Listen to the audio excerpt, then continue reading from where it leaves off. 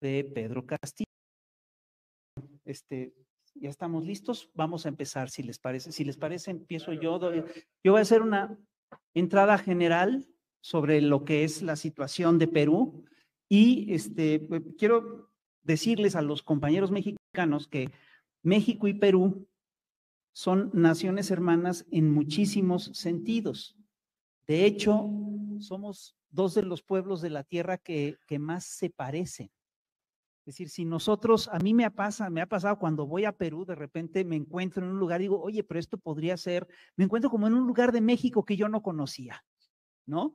Y la verdad es que las razones para tener esta cercanía son muchas.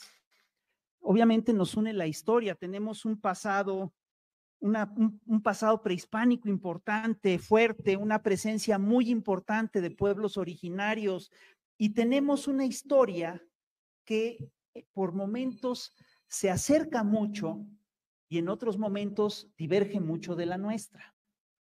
Eh, los primeros años de la historia del Perú, de la independencia de Perú como país independiente después de la independencia de Bolívar, fueron años tan turbulentos como los años que tuvimos aquí en México.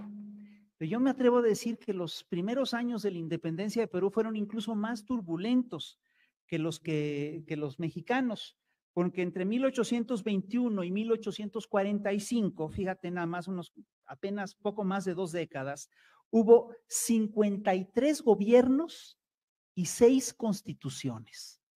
Así de turbulenta fue, el así de turbulento fue el nacimiento de Perú. Ojo, ¿eh? En México no cantamos mal las rancheras. Tuvimos alternancia constante y todo eso, pero 53 gobiernos y 6 constituciones es realmente mucho, ¿no? Y eso además explica mucho de lo que está ocurriendo hoy en día, porque esta, este desbarajuste, digamos, constitucional, pues se ha repetido en, en momentos específicos de la historia peruana. Hay que decir que entre los siglos XX, XIX y XX, toda América Latina pasó de ser una colonia de la corona española a ser un proveedor de materias primas para los Estados Unidos, un patio trasero, es decir, colonia de Estados Unidos. Esa historia todos la conocemos. Y todos sabemos que Estados Unidos, para mantener el control de su patio, de lo que ellos llaman su patio trasero de América Latina, impulsó una cantidad enorme de golpes militares a lo largo del siglo XX. Eh, yo estaba haciendo la relación de cuántos golpes militares hemos tenido en América Latina y la relación es muy impresionante. En Argentina son cinco, en Bolivia doce, en Brasil dos, en Chile cinco, en Colombia tres, en Costa Rica dos, en Cuba cinco, en República Dominicana siete, en El Salvador dos, en Guatemala nueve, en Haití siete, en Honduras cuatro, en México uno, el golpe de Huerta contra Madero, en Nicaragua uno, en Panamá tres, en Paraguay seis, en Uruguay tres, en Venezuela seis. El total son 89 golpes de Estado que hemos tenido en América Latina. Y prácticamente todos, salvo algunas, salvo dos excepciones, prácticamente todos están impulsados de alguna manera por Estados Unidos, algún nivel por Estados Unidos. Y bien sabemos que el golpe contra Madero, que se dio en tiempos, eh, que, se, que se dio en 1913, en febrero de 1913, fue organizado, su fase final se organizó en la embajada norteamericana y se conoce como el golpe de la embajada, el plan de la embajada. Ese es el plan que derroca a Madero. Ahora, es chistoso porque durante la Guerra Fría, Hubo golpes de Estado en Bolivia entre 1964 y 1982, en Argentina entre los años 1976 y 1983, en Uruguay entre 1973 y 1984, en Chile entre 1973 y 1990, en, Paraguay desde 1954 prácticamente hasta 1989 impusieron una dictadura en República Dominicana, desde 1930 hasta 1961 impusieron dictaduras en Ecuador desde el 72 al 79 y entre 1953 y 1957 y en Perú, fíjense bien, desde 1968 a 1980. Y hay que decir que en el siglo XX Perú vivió momentos muy inestables. Perú tiene una historia de inestabilidad a lo largo del siglo XX. Está, por supuesto, el, golpe de Sánchez Cerro contra Leguía en 1933, el golpe de Odría en 1948, el golpe, la dictadura de Velasco Alvarado en 1968, el golpe de Morales Bermúdez en 1975 y una cosa rarísima que es el autogolpe de Alberto Fujimori en 1992. Y fíjense, aquí ocurre una cosa muy chistosa porque Estados Unidos siempre se vendió como el país de la democracia, movido el grueso de estos, el que promovió el grueso de estos golpes militares. Y es un hecho que pues estos golpes militares ya están muy desacreditados hasta en Estados Unidos, ¿no? Entonces, Estados Unidos decidió cambiar, impulsar un proyecto, es decir, todos sabemos cómo lo hemos hablado una y otra vez en este instituto, hay ciclos revolucionarios, hay ciclos contrarrevolucionarios, y Estados Unidos está detrás de todos los ciclos contrarrevolucionarios de, de, los últimos 100 años en América Latina, y Estados Unidos, este, que ha impulsado todos los cantidad de dictaduras y proyectos antidemocráticos, eh, a partir de la década de 1980, impulsa un proyecto muy peculiar que es el neoliberalismo. Y para impulsar ese proyecto, supuestamente la vía política para ese proyecto, es lo que llamaron en la Academia Norteamericana los, eh, las democracias de libre comercio.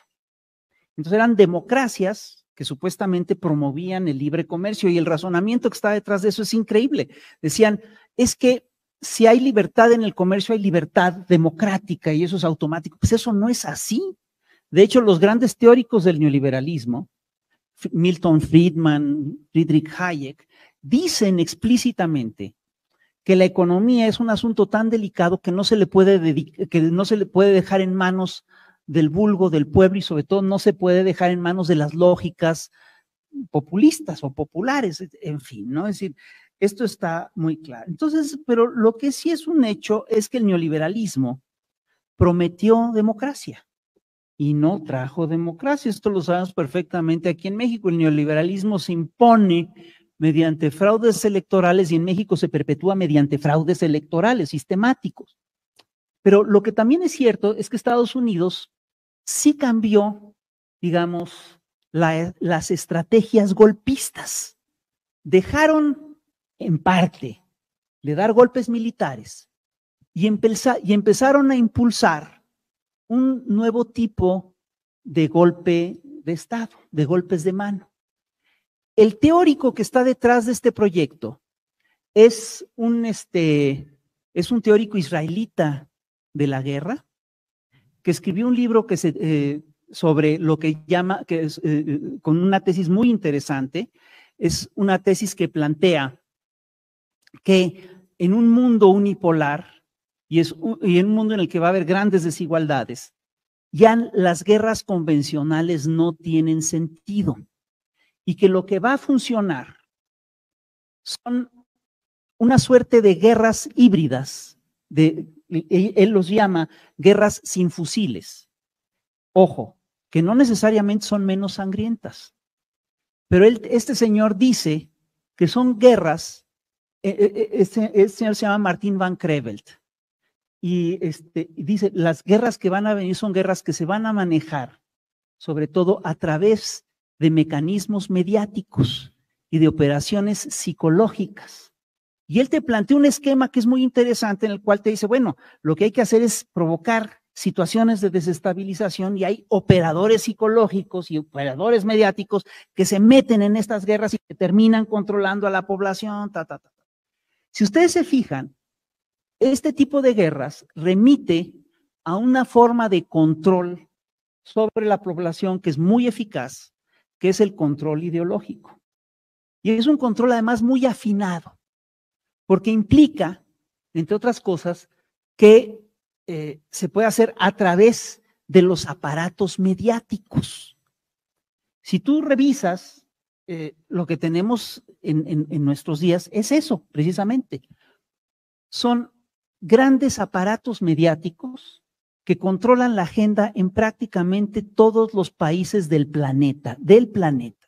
Entonces, fíjense, en México, ¿quién dicta la agenda? La dicta, básicamente, la dictaba hasta hace unos años, hoy la dicta la mañanera, por suerte, pero la dictaba antes Televisa y TV Azteca y todos los aparatos mediáticos que estaban. ¿Quién la dictaba en Brasil? O Globo, con sus, múltiples revistas, con sus cadenas de televisión, con, sus, con, su, eh, con su periódico, con sus cadenas de radio, etcétera. ¿Quién dictaba la agenda en Argentina? El Clarín.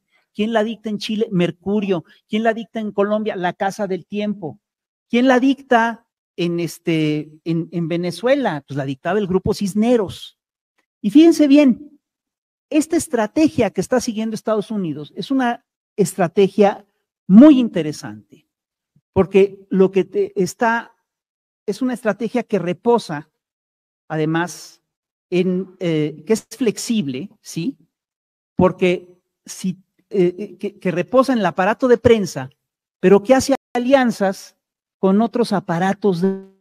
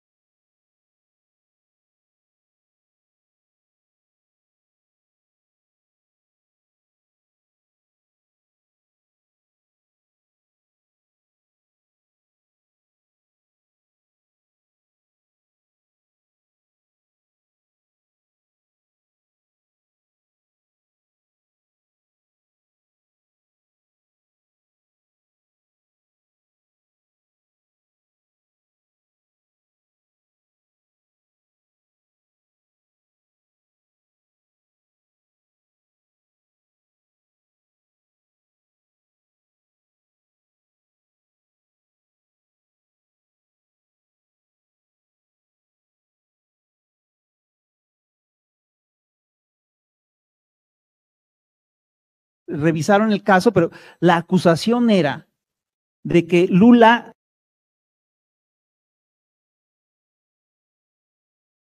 estaba haciendo un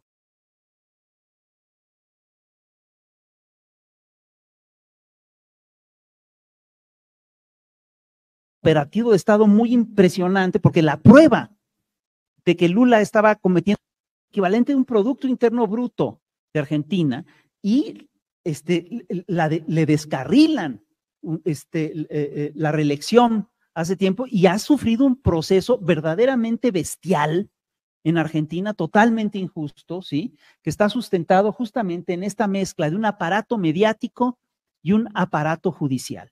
Y quiero decirles lo siguiente, esta estrategia del offer es una estrategia en la cual se necesita indudablemente del vínculo del aparato mediático. Aquí en México vivimos un caso de Lofer. El caso de guerra judicial más reciente a gran escala que tuvimos en México fue lo que le quisieron hacer a López Obrador con el desafuero en 2005 para sacarlo de la campaña presidencial. Eso es un caso de Lofer cantado. Es decir, los jueces arman un expediente y a partir de ese expediente piden que lo saquen y quieren eh, eh, es decir, justifican todo su actuar, sobre todo a partir del caso de los medios.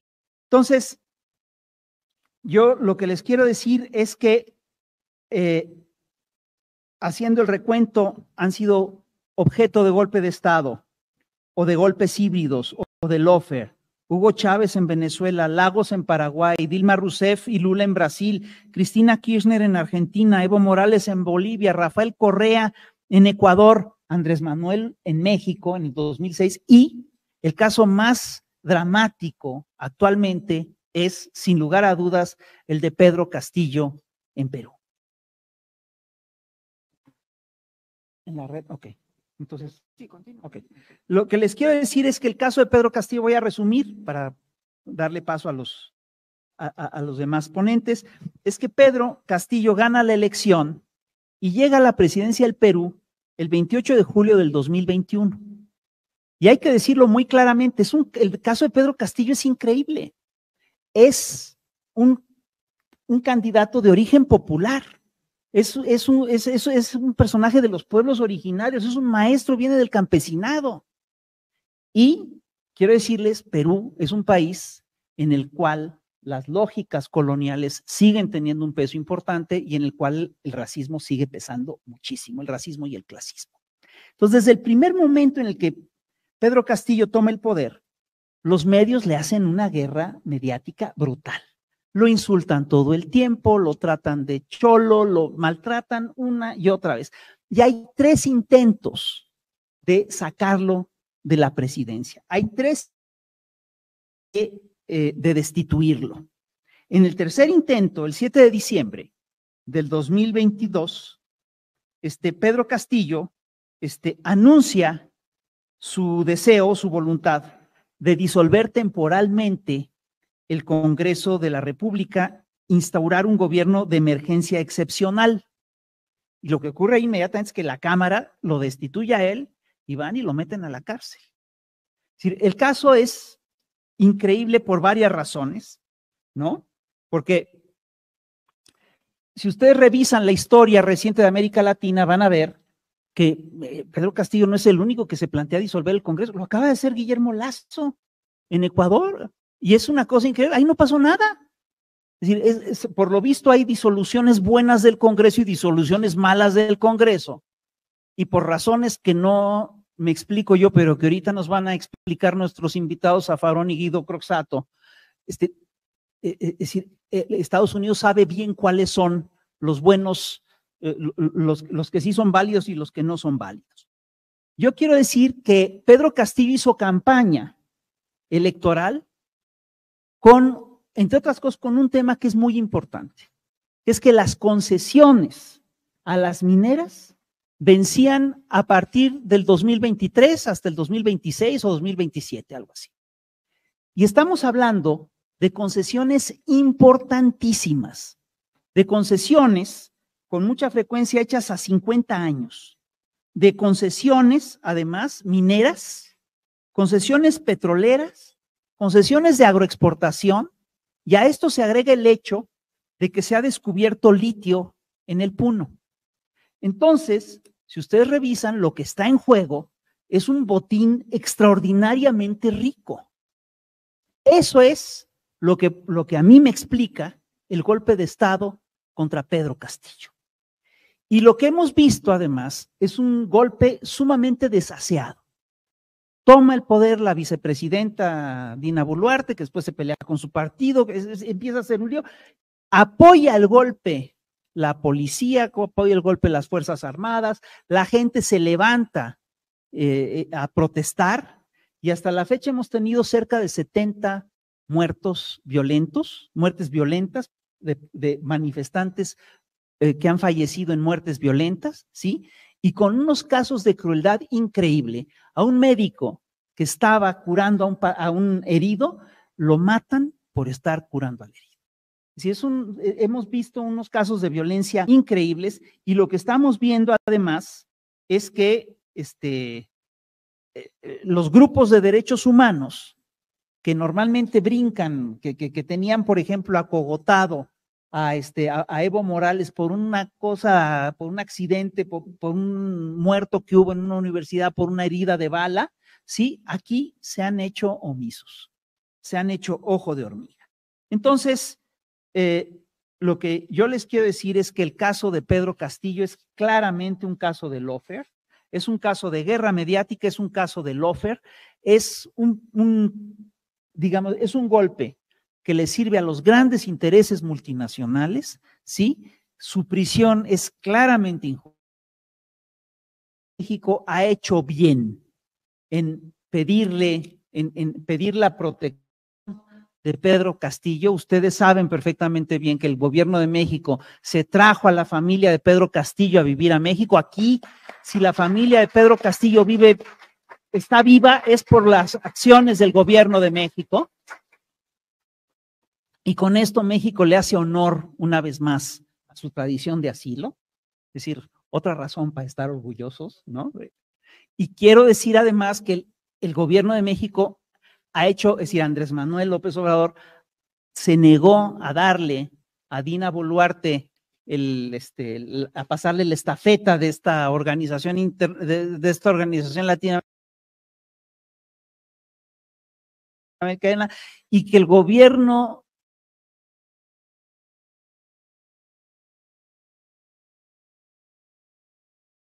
el, el Congreso de Perú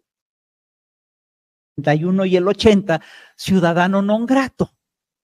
Andrés Manuel también lo es para nosotros.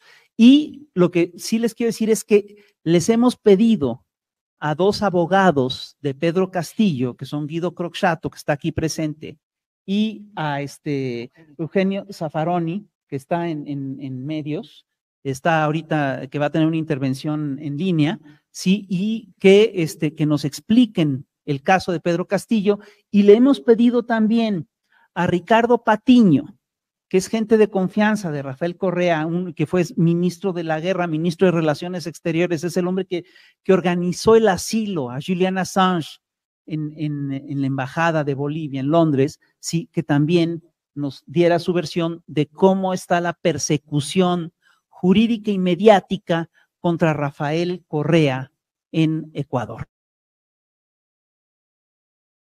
a Ricardo Patiño que, este, que intervenga, o, si no está Ricardo Patiño, le vamos a pedir al maestro Zaffaroni que intervenga.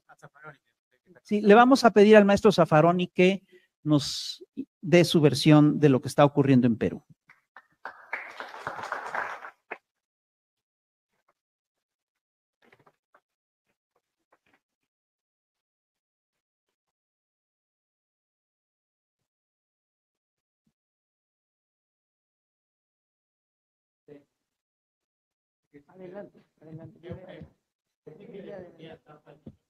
Hola.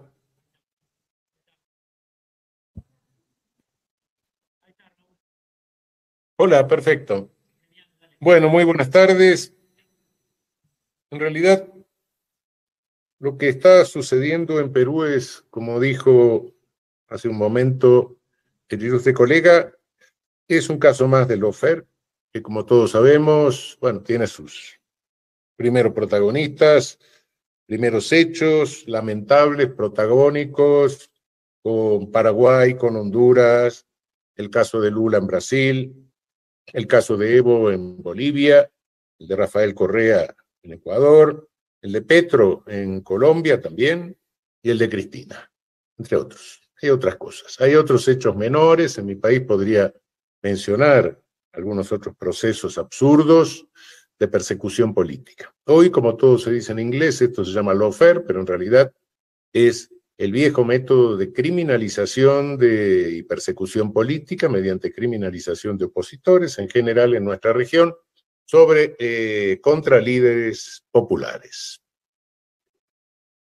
Lo que está sucediendo es eh, una prisión, eh, primero destitución irregular del presidente Pedro Castillo, fue destituido sin darle el derecho a ser oído, independientemente de todas las violaciones reglamentarias que regulan el juicio político. Ahora también se llama impeachment porque todo lo tenemos que decir en inglés.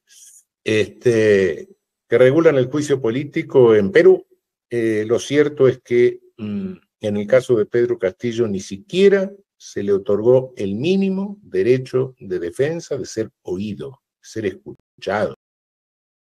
Eh, en el derecho internacional y en la doctrina hay unanimidad en cuanto a que si bien el juicio político no necesariamente, no necesariamente tiene que tener las mismas garantías que un proceso penal, por lo menos hay que garantizar el derecho de defensa y el derecho a ser oído. Esto fue lo que no se hizo en el caso de Pedro Castillo. Cuando la Corte Suprema, Corte Suprema del Perú, ratifica, confirma la prisión preventiva de Pedro Castillo, en un párrafo confuso, en un párrafo que realmente mm, amerita ser analizado, porque eh, a veces eh, la literatura tiene párrafos de esta naturaleza, ¿no? Un párrafo nebuloso, digamos, ¿no? Pero más o menos leyendo tres o cuatro veces el párrafo, lo que se termina diciendo es lo siguiente. Se le afectó el derecho formal de defensa al no escucharlo, pero no se le afectó el derecho de fondo, el derecho real de defensa, porque no tenía argumentos. Y porque tampoco sabíamos qué argumentos podía esgrimir. Esto es insólito el derecho, yo creo nunca escuchado en derecho procesal un razonamiento de esta naturaleza. En cuanto al delito que se le imputa, no es cierto que Pedro Castillo quiso cerrar el Congreso, quiso disolver el Congreso. Castillo sabía muy bien que no disponía de ninguna fuerza para lograr el cierre y la disolución del Congreso. Sabía que no disponía ni del último policía ni del último soldadito para hacer eso. ¿Qué fue lo que hizo? ¿Qué fue su discurso? Estaban a punto de destituirlo punto de destituirlo el Congreso. Y Castillo iba a salir sin haber podido cumplir con ninguna de las promesas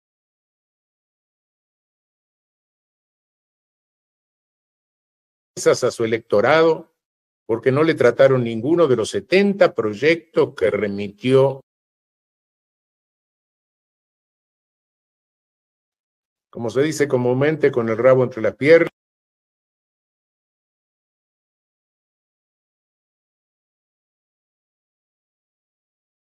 Presión, una nueva constitución, pero sabiendo que eso, eso era un, un programa que le dejaba al pueblo, que le dejaba a su electorado.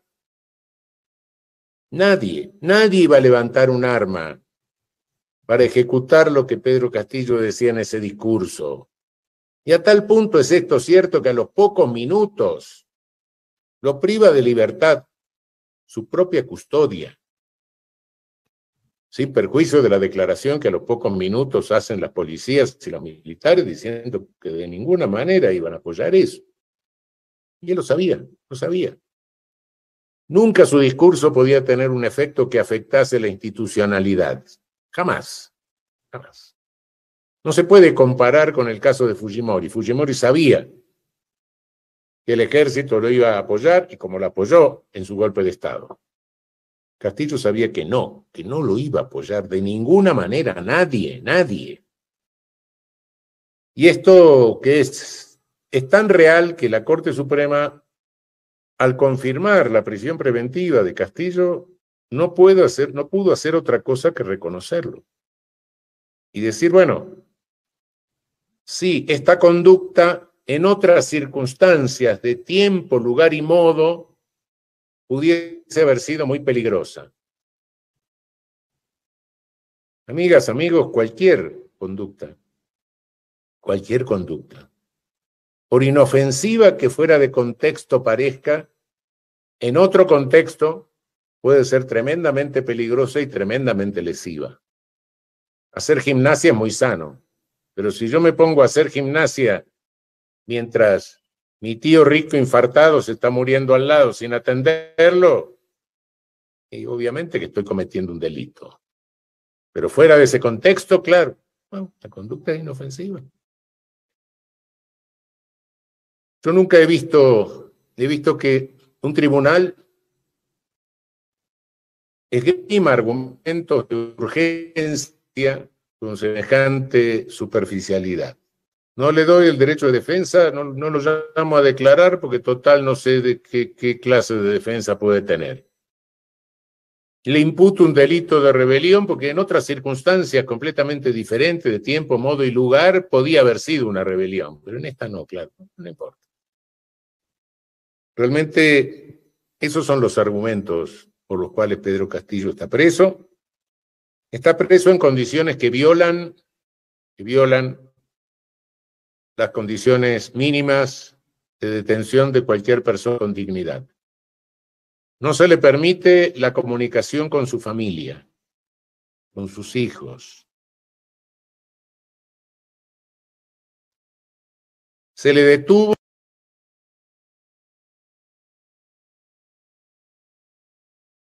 se le privó de libertad encañonando a su hija menor, incluso con un arma en cabeza formalmente, porque no sé si materialmente lo encabeza la señora Buluarte. Mm, no solo no se privó de dar muerte a 70 personas, sino que ahora llama, llama indagatoria a Evo Morales, con la imputación de que quiere hacer un reinado inca, no sé qué, qué cosa rara quiere separar una provincia de Perú para hacer un reinado, ¿no? No sé, un estado nuevo. Sí, un absurdo. Declara, declara delito la protesta. El derecho de reunión está siempre garantizado. Y el derecho de reunión no es solo de almas, son cuerpos que ocupan lugar. Por otra parte, se ha cometido, se ha cometido la invasión de la Universidad de San Marcos, la universidad más antigua de Sudamérica. Entraron tanques, entraron militares, entraron policías. Se toqueteó algunas alumnas para ver si no tenían armas, claro. Se puso en el suelo algunos alumnos. En fin, esta es la situación que tenemos planteada en, en la República del Perú. En este momento, mmm, rara cosa, dentro de la justicia peruana se ha abierto la instancia, no se ha resuelto, no, no, confío mucho en lo que vaya a suceder, pero se ha abierto la instancia acerca de las irregularidades que, mm, del proceso con que se hizo cesar eh, las funciones de don Pedro Castillo. En el orden internacional se han pedido medidas cautelares a la Comisión Interamericana de Derechos Humanos, se ha denunciado el caso al Comité de Derechos Humanos de las Naciones Unidas. Y es posible que el creciente desprestigio de este régimen peruano eh, incline la balanza de algunos que tengan la delicada función de juzgar. Esto, esto es un capítulo más, como dije al comienzo, de una guerra híbrida que se plantea se plantea en medio de una guerra colonial, colonialista.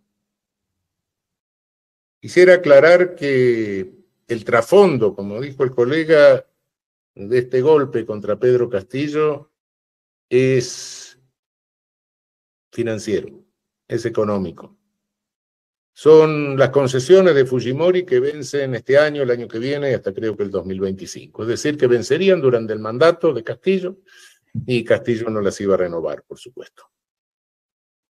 Quisiera aclarar que el contexto general en que se produce esto es un histórico y ancestral contexto étnico que hay en Perú del cual da cuenta su historia, viejos autores, no lo voy a relatar ahora, eh, pero que es ampliamente conocido.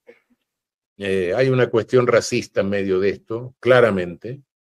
Hay una cuestión que, que al, segundo, al segundo trago sale, que es, este cholo no puede ser presidente. Todo esto, les decía, es en el contexto de una guerra híbrida, que es una guerra colonialista. No, por supuesto, del colonialismo originario. Ya no. No viene Cortés, no viene Pizarro, no, no.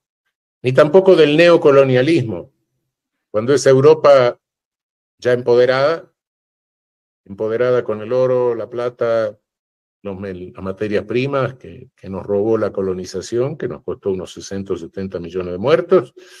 Eh, esta Europa ya empoderada se dedicó a practicar los mismos genocidios por el resto del planeta, por África, por Asia, por Oceanía. Tampoco es esto. Este neocolonialismo, a mi juicio, terminó terminó con nuestras dictaduras de seguridad nacional, con el final de nuestras dictaduras de seguridad nacional por los años 80. Subsistieron algunas manifestaciones, la guerra centroamericana, etc. Costó en aquel momento 200.000 muertos en Guatemala, 80.000 en El Salvador, 30.000 en la Argentina, más selectivos. Pero ahí terminó ese neocolonialismo y ahora estamos sufriendo un colonialismo tardío que corresponde a esta variable del capitalismo, a esta variable de la economía financiarizada, a esta hipertrofia del aparato financiero del capitalismo que subordina al aparato productivo y a las grandes corporaciones transnacionales que ocupan el lugar de la política, no solo en nuestro sur subordinado, sino también en el norte. Esto es parte. Todos estos episodios que he mencionado son parte de esta, de esta guerra híbrida y el caso de Perú es uno de los últimos, este, cronológicamente hablando, este, pero uno más. Tengamos en cuenta que estamos peleando no por derecha, izquierda, no sé, esos términos que vienen de Europa me confunden a veces. Estamos peleando por soberanía. Y lo que se está afectando en Perú es la soberanía, cuyo único titular en toda república es el pueblo. Bueno, muchísimas gracias.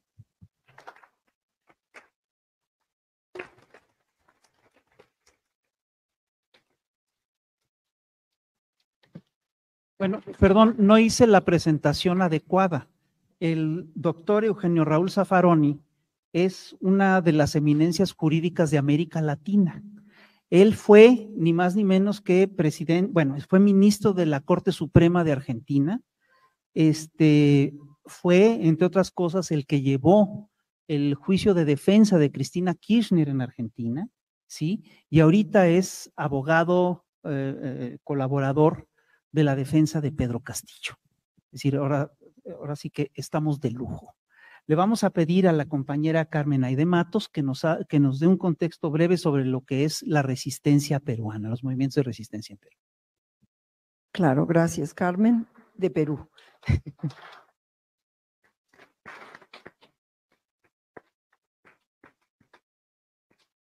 Soy de Chancay, de la cultura que le compite a la, a la cultura de Paracas en Perú. Tengo aquí 40 años de, resistencia, de residencia en, México. Y aquí el punto que quería yo aclarar, quizás como algo válido, es que la resistencia en Perú casi, casi la podemos ubicar en la historia con Tupac Amaru hasta el día de hoy, hasta todo el área sur de Puno, de Cusco, de, Arequipa, de Andahuaylas, de Apurímac. Eh, es muy importante recordar que nuestra historia se está volviendo a revisar. El doctor Bejar, eh, que vamos a tener aquí en septiembre y que quisiera que lo tuviéramos, eh, acaba de hacer un, libro de mil y pico de páginas donde habla sobre la historia para los descontentos, donde nos desmitifica muchas cosas a los propios peruanos con relación a que fuimos solamente república criolla. Y no, porque en todos los Andes esa es la costumbre, de resistir y de bajar. Por eso es que hoy día se hablaba de que la derecha, comillas, a las tenían miedo de las invasiones de los cerros, de que pueden bajar de los cerros. Entonces, eso es muy importante, un poco como lo que pasa en toda nuestra región, ¿no? Con los mapuches al sur hasta los yaquis que apenas acaban de tener su reposición de derechos. Entonces, eh, eso es nada más en, adicional que quería comentarle Rafael, porque vamos a enriquecer no solamente los peruanos, sino toda nuestra región, eh, para entender qué cosas se comprendía como soberanía regionales, este, territoriales, de pequeños espacios y de, y de controles gubernativos distintos a los que hay hoy, pero que son muy importantes recordarles que eso está en la sangre, eso está en la memoria. Y eso es lo que está pasando hoy día. Por eso es que al término del discurso de Castillo, inmediatamente se llenaron los parques y las calles en Lima. Y hasta el día de hoy. Y muy pronto vamos a tener la siguiente toma de Lima, que sea o no sea exitosa, es, es una voz de protesta en muchos órdenes.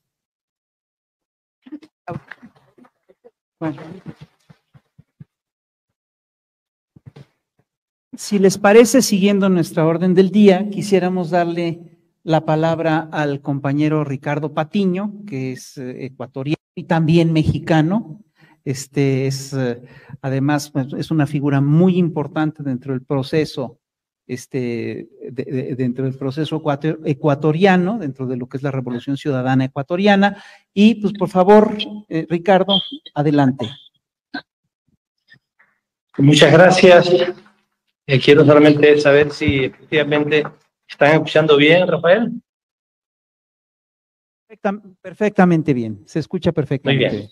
Bueno, muchísimas gracias. Gracias. Qué bueno, gracias por esta invitación a compartir los problemas que vivimos en América Latina con el lawfare y agradecer al presidente, al maestro Zafaroni por su excelente exposición, un maestro eh, de la, del pensamiento eh, jurídico en América Latina respecto al lawfare. Eh, el lawfare en el Ecuador comenzó con un acto de traición política. En el año 2017, después de 10 años de gobierno de la Revolución Ciudadana frente a Rafael Correa, ganamos las elecciones del 2017 poniendo como candidato a Lenín Moreno. Nunca imaginamos que se podría producir la traición que se produjo lamentablemente. Esa es una traición no solamente a, su partido político, es una traición al pueblo, eh, porque lo que hizo fue traicionar lo que dijo que iba a hacer. Él dijo que iba a continuar con el legado de la Revolución Ciudadana al que incluso le llamaba leyenda. Él decía, la revolución ciudadana no es solamente una revolución, es una leyenda. Él argumentaba y decía pues que seguiría los pasos de Rafael Correa. Hizo todo lo contrario. Traicionó a la revolución, traicionó a su pueblo y esta conducta fue eh, elogiada, aplaudida, celebrada por la prensa y por la derecha nacional e internacional. En una sociedad de valores eh, siendo esto un fraude democrático, debió haber recibido el repudio incluso de la derecha. O sea, porque si tú dices que vas a hacer A y después haces menos A, lo contrario de A, si dices que vas a trabajar con el pueblo y luego te alías con los enemigos del pueblo, hasta la misma derecha por, por, coherencia, por pedir consecuencia política, debía decir,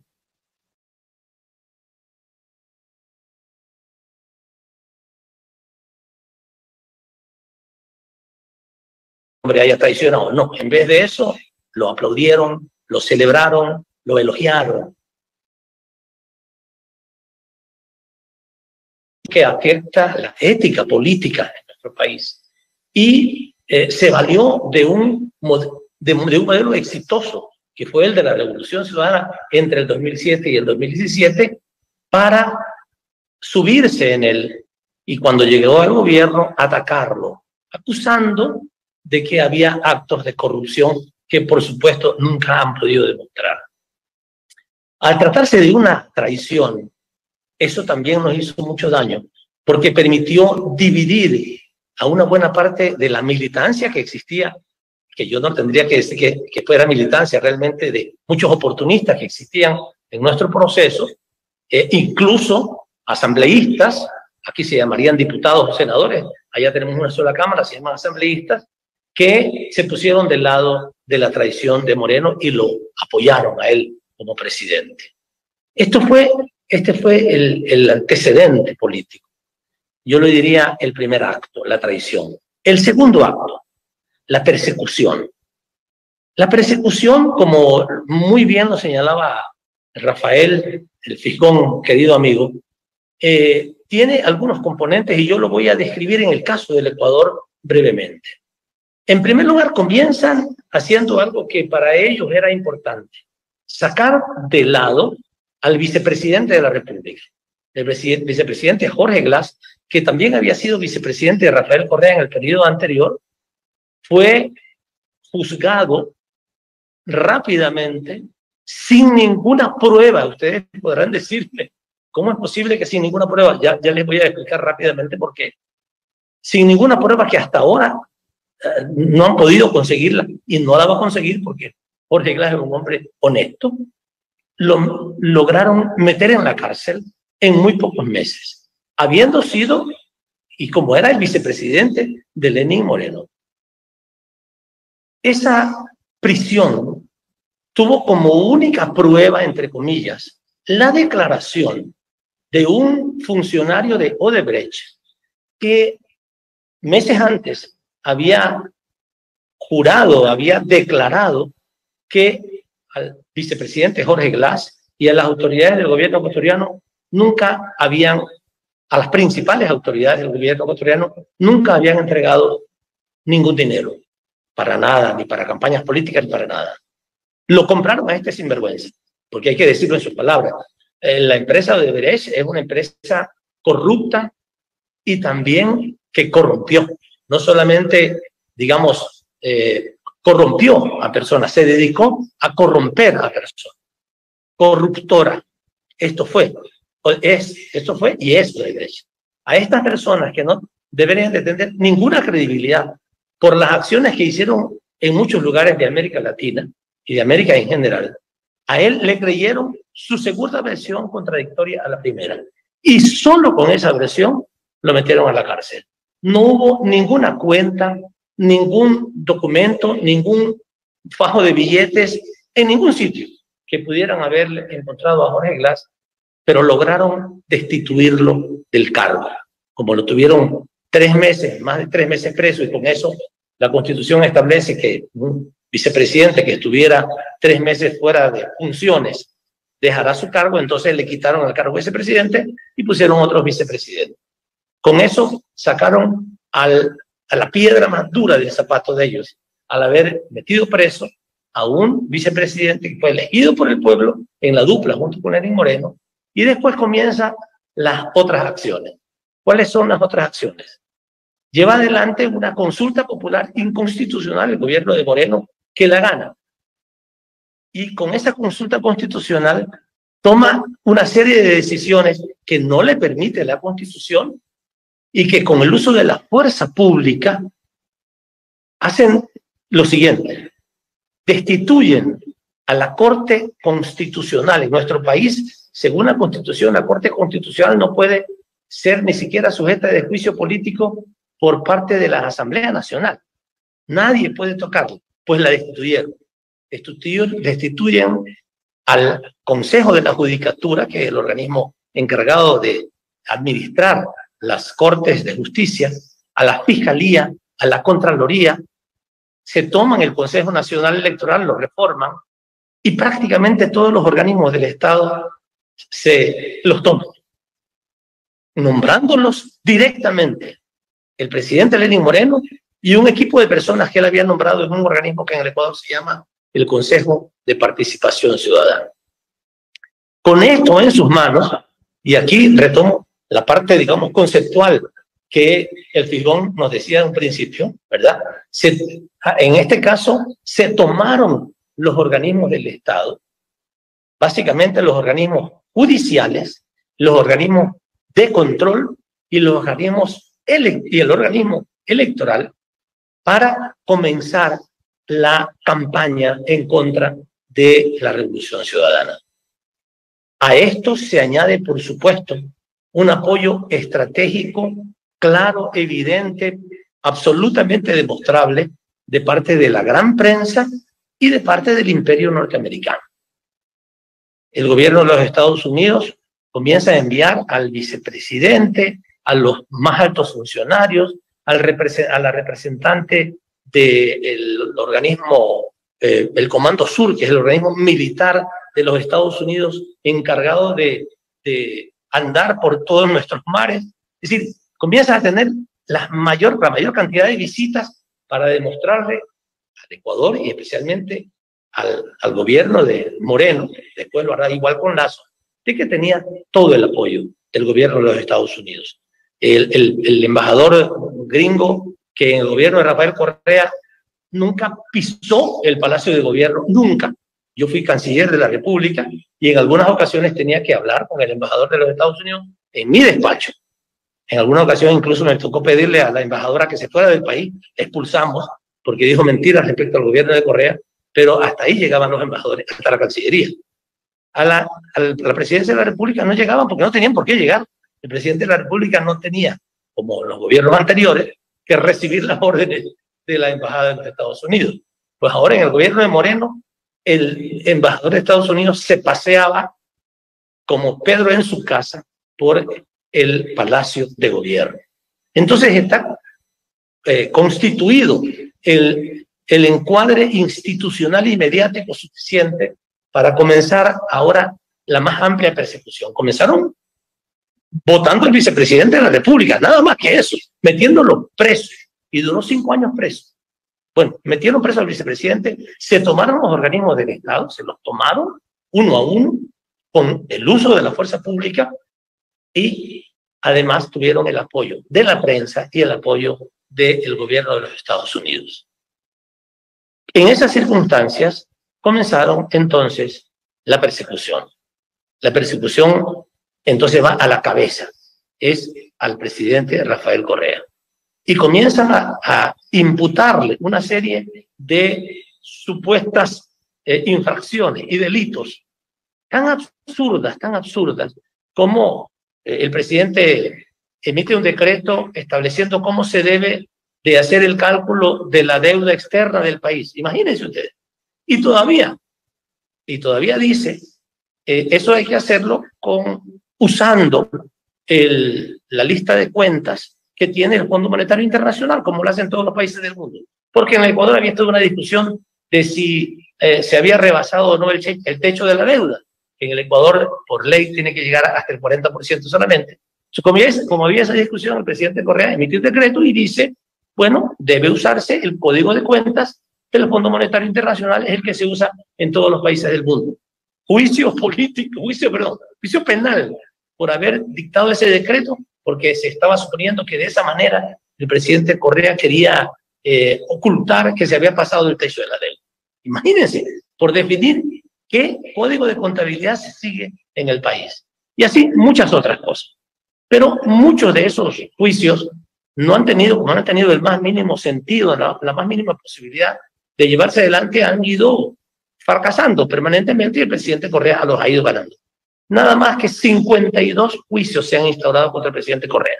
Yo creo que ahora más, porque cada semana instauran un juicio contra uno de los hombres más honestos, más intachables entre los líderes de América Latina en el primer ciclo del, progresismo latinoamericano.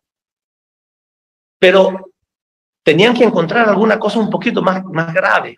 Y encontraron que algunos empresarios habían eh, aportado a, alguna campaña electoral de la Revolución Ciudadana, en aquella época el partido se llamaba de otra manera, pero digamos del movimiento político nuestro, y eh, quisieron involucrar al presidente Correa en eso, en que algún aporte de algún empresario hubiera sido pedido, digamos, por el presidente Correa, que hubiera solicitado un aporte para, eh, para alguna campaña electoral y que lo hubieran hecho a cambio de algún contrato. Por supuesto, no lo encontraron y no lo van a poder encontrar. Entonces, eh, resulta que consiguieron que una anterior asesora del presidente Correa escribiera un cuaderno, escribiera un cuaderno eh, inventándose como si lo hubiera hecho hace ocho años atrás. Y decía ahí, el presidente Correa me llamó a pedirme que eh, pase este dinero a tal sitio. Y el presidente Correa me pasó, y el vicepresidente tal cosa. Un correo, un correo, perdón, un cuaderno escrito por esa ex asesora. Y, entonces lo presenta en el juicio para la prueba, la prueba estrella es, es una ex asesora del presidente Correa que pone, que presenta un cuaderno en donde ella va diciendo con, con centavos que los valores que debía de eh, que debían de, de ser entregados a, a, determinadas personas. Después resulta que un abogado acucioso de la defensa del presidente Correa pide que le, que entreguen el cuaderno y ve en la parte de atrás, en el código de barras, analiza el código de barras, pregunta cuándo se elaboró el cuaderno y resulta que el cuaderno había sido elaborado en México, aquí en México, había sido elaborado recién hace unos meses. Pero la señora presentaba el cuaderno, era la prueba estrella de la asesora del presidente, como si hubiera sido escrito hace ocho años atrás. Por supuesto, se derrumbó esa prueba. Como entonces no sabían qué hacer, ¿cómo lo involucramos a Correa? Porque la prueba más importante de la asesora se, se nos cayó. Entonces se utilizaron, yo no soy abogado, soy economista, pero utilizaron una eh, imaginaria tesis jurídica de lo que se llama el influjo psíquico. El influjo psíquico, es decir, eh, y lo, dijo la fiscal general de la República, dijo, indudablemente que el presidente Correa tiene que haber sabido eso. Y bueno, pero le preguntaban los abogados del presidente Correa, sí, pero y una cosa es que usted se imagine y otra cosa es que usted lo pueda probar. En un juicio las cosas tienen que probarse, no es una imaginación. Y entonces encontraron una teoría jurídica que dice que una persona puede tener influjo psíquico en los demás para que los demás hagan lo que imaginan que la primera persona quería que hiciera. Imagínense ustedes eso. O sea, bueno, eso puede uno entender un influjo psíquico de alguien sobre un niño, pero un influjo psíquico, sobre personas mayores, eso es simplemente impensable. Pues todos los abogados se han, se han burlado de, de, esa, de la utilización de esa, de esa teoría jurídica, pero con eso lo sentenciaron. Lo sentenciaron a ocho años de cárcel por haber influido psíquicamente en algunos funcionarios que les fueron a pedir dinero a algunos empresarios para hacer alguna campaña electoral. De esa manera. Pero no solamente que hicieron esto, sino que como eh, el juicio en el que lo habían eh, sentenciado el presidente Correa todavía no estaba totalmente terminado, no estaba ejecutoriado, como se dice en, cuestiones legales. Entonces, eh, el presidente Correa, en el año 2021 todavía tenía posibilidades de presentarse como candidato a la vicepresidencia de la República. A la presidencia no, porque hay limitaciones constitucionales para tener una reelección, pero bueno, ese es otro tema. Pero se podía presentar como candidato a la vicepresidencia de la República en el año 2021. Y la defensa del presidente Correa presenta una, una este, apelación en el digamos, el recurso que se llama de casación, que es el último recurso ante la Corte Nacional de Justicia. Y mientras no estuviera eh, todavía ejecutoriada la sentencia, el presidente podría presentarse como candidato a la vicepresidencia en el año 2021. ¿Qué pasó? En 17 días laborables, escúchenme bien, esto les va a sorprender, a cualquiera le va a sorprender. Un juicio político que tenía muchísimos cuerpos, se llaman cuerpos a las carpetas grandotas que hay en los juicios, muchísimos cuerpos. En 17 días laborables lo confirmaron la sentencia. Los, los recursos de casación, que son recursos ante la máxima instancia de la función judicial, normalmente duran cinco años, ocho años, diez años, en el mejor de los casos, tres años, dos años. Se resolvió en 17 días justamente un día antes de que venciera el plazo para hacerse, para poderse inscribir. Y es más, ya habíamos inscrito la candidatura inicialmente del, del, presidente Correa como candidato a la vicepresidencia y hubo que reemplazarlo, porque la Corte Nacional de Justicia en 17 días laborables, cual es imposible prácticamente, ellos eh, eh, confirmaron la sentencia contra el presidente Correa. Así es la persecución. Es, es, es saña, es odio, es, es todo un encuadre mediático increíble. Ustedes no imaginan, son todos los días del año, las 24 horas del día del año, que los grandes medios de comunicación dicen una y otra vez, una y otra vez, sin ninguna prueba, que el presidente Correa se robó 70 mil millones de dólares, igual que la información que hace un momento decía eh, Rafael Barojas. 70 mil millones, el Producto Interno Bruto del Ecuador es 100 mil millones de dólares, que se robó 70 mil millones de dólares en, en las obras. El Ecuador nunca, nunca ha tenido tantas obras, tanto bienestar como el gobierno de Rafael Correa. Además, limpiamente como debe ser. Pero eso te lo dicen todo el día, todo el día, todos los días, cosas que efectivamente al principio del gobierno de, Moreno y al principio todavía del gobierno de, de Lazo, la gente estaba muy confundida. Y así no voy ahora a detenerme porque no será posible, pero solamente brevemente decirles, así como al presidente Rafael Correa lo condenaron, persiguieron a una joven extraordinaria, quien fuera, que fuera presidenta de la Asamblea Nacional, presidenta, como decir, presidente del Congreso de México, a los 30 años, una brillante política, le metieron preso a su papá, tuvo que salir ella del país, ahora vive asilo, tuvo que ir a la embajada mexicana en, en Quito y ahora está asilada en, en México. Metieron preso a su papá, lo vejaron, lo ultrajaron, lo humillaron, porque supuestamente estaba eh, en su cuenta corriente, había ingresado dinero de coimas de la compañera Gabriela Rivadeneira. Esta compañera, por supuesto, es una mujer impoluta, una mujer honesta, cuarta cabal. Pues por supuesto que a los, pocos, a los pocos meses, como no pudieron probar nada contra el padre de Gabriel Rivadeneira, lo soltaron y lo declararon inocente, porque es inocente. Pero, pero le acabaron prácticamente la vida a la familia. Y a Gabriela con sus hijos tuvo que salir del país. ¿Qué es lo que querían? ¿Tenerlos o presos o fuera del país? Y así, a la compañera prefecta de, de, Pichincha, de donde es la capital de la República, que se llamaría gobernadora, al secretario de nuestro movimiento político, ella es Paola Pavón, al secretario Virgilio Hernández, a mí, en mi caso, por declarar, por declarar, perdón, por dar un discurso en una reunión interna del partido político en que llamé a los militantes a acompañar a nuestro pueblo. En la época de Moreno, fue, esto fue a fines del 2018, acompañar a nuestro pueblo en su lucha en las calles, a luchar con fuerza, a tener una resistencia combativa, y lo dije además, precisé, sin usar la violencia, para que no se me vaya a acusar de algo.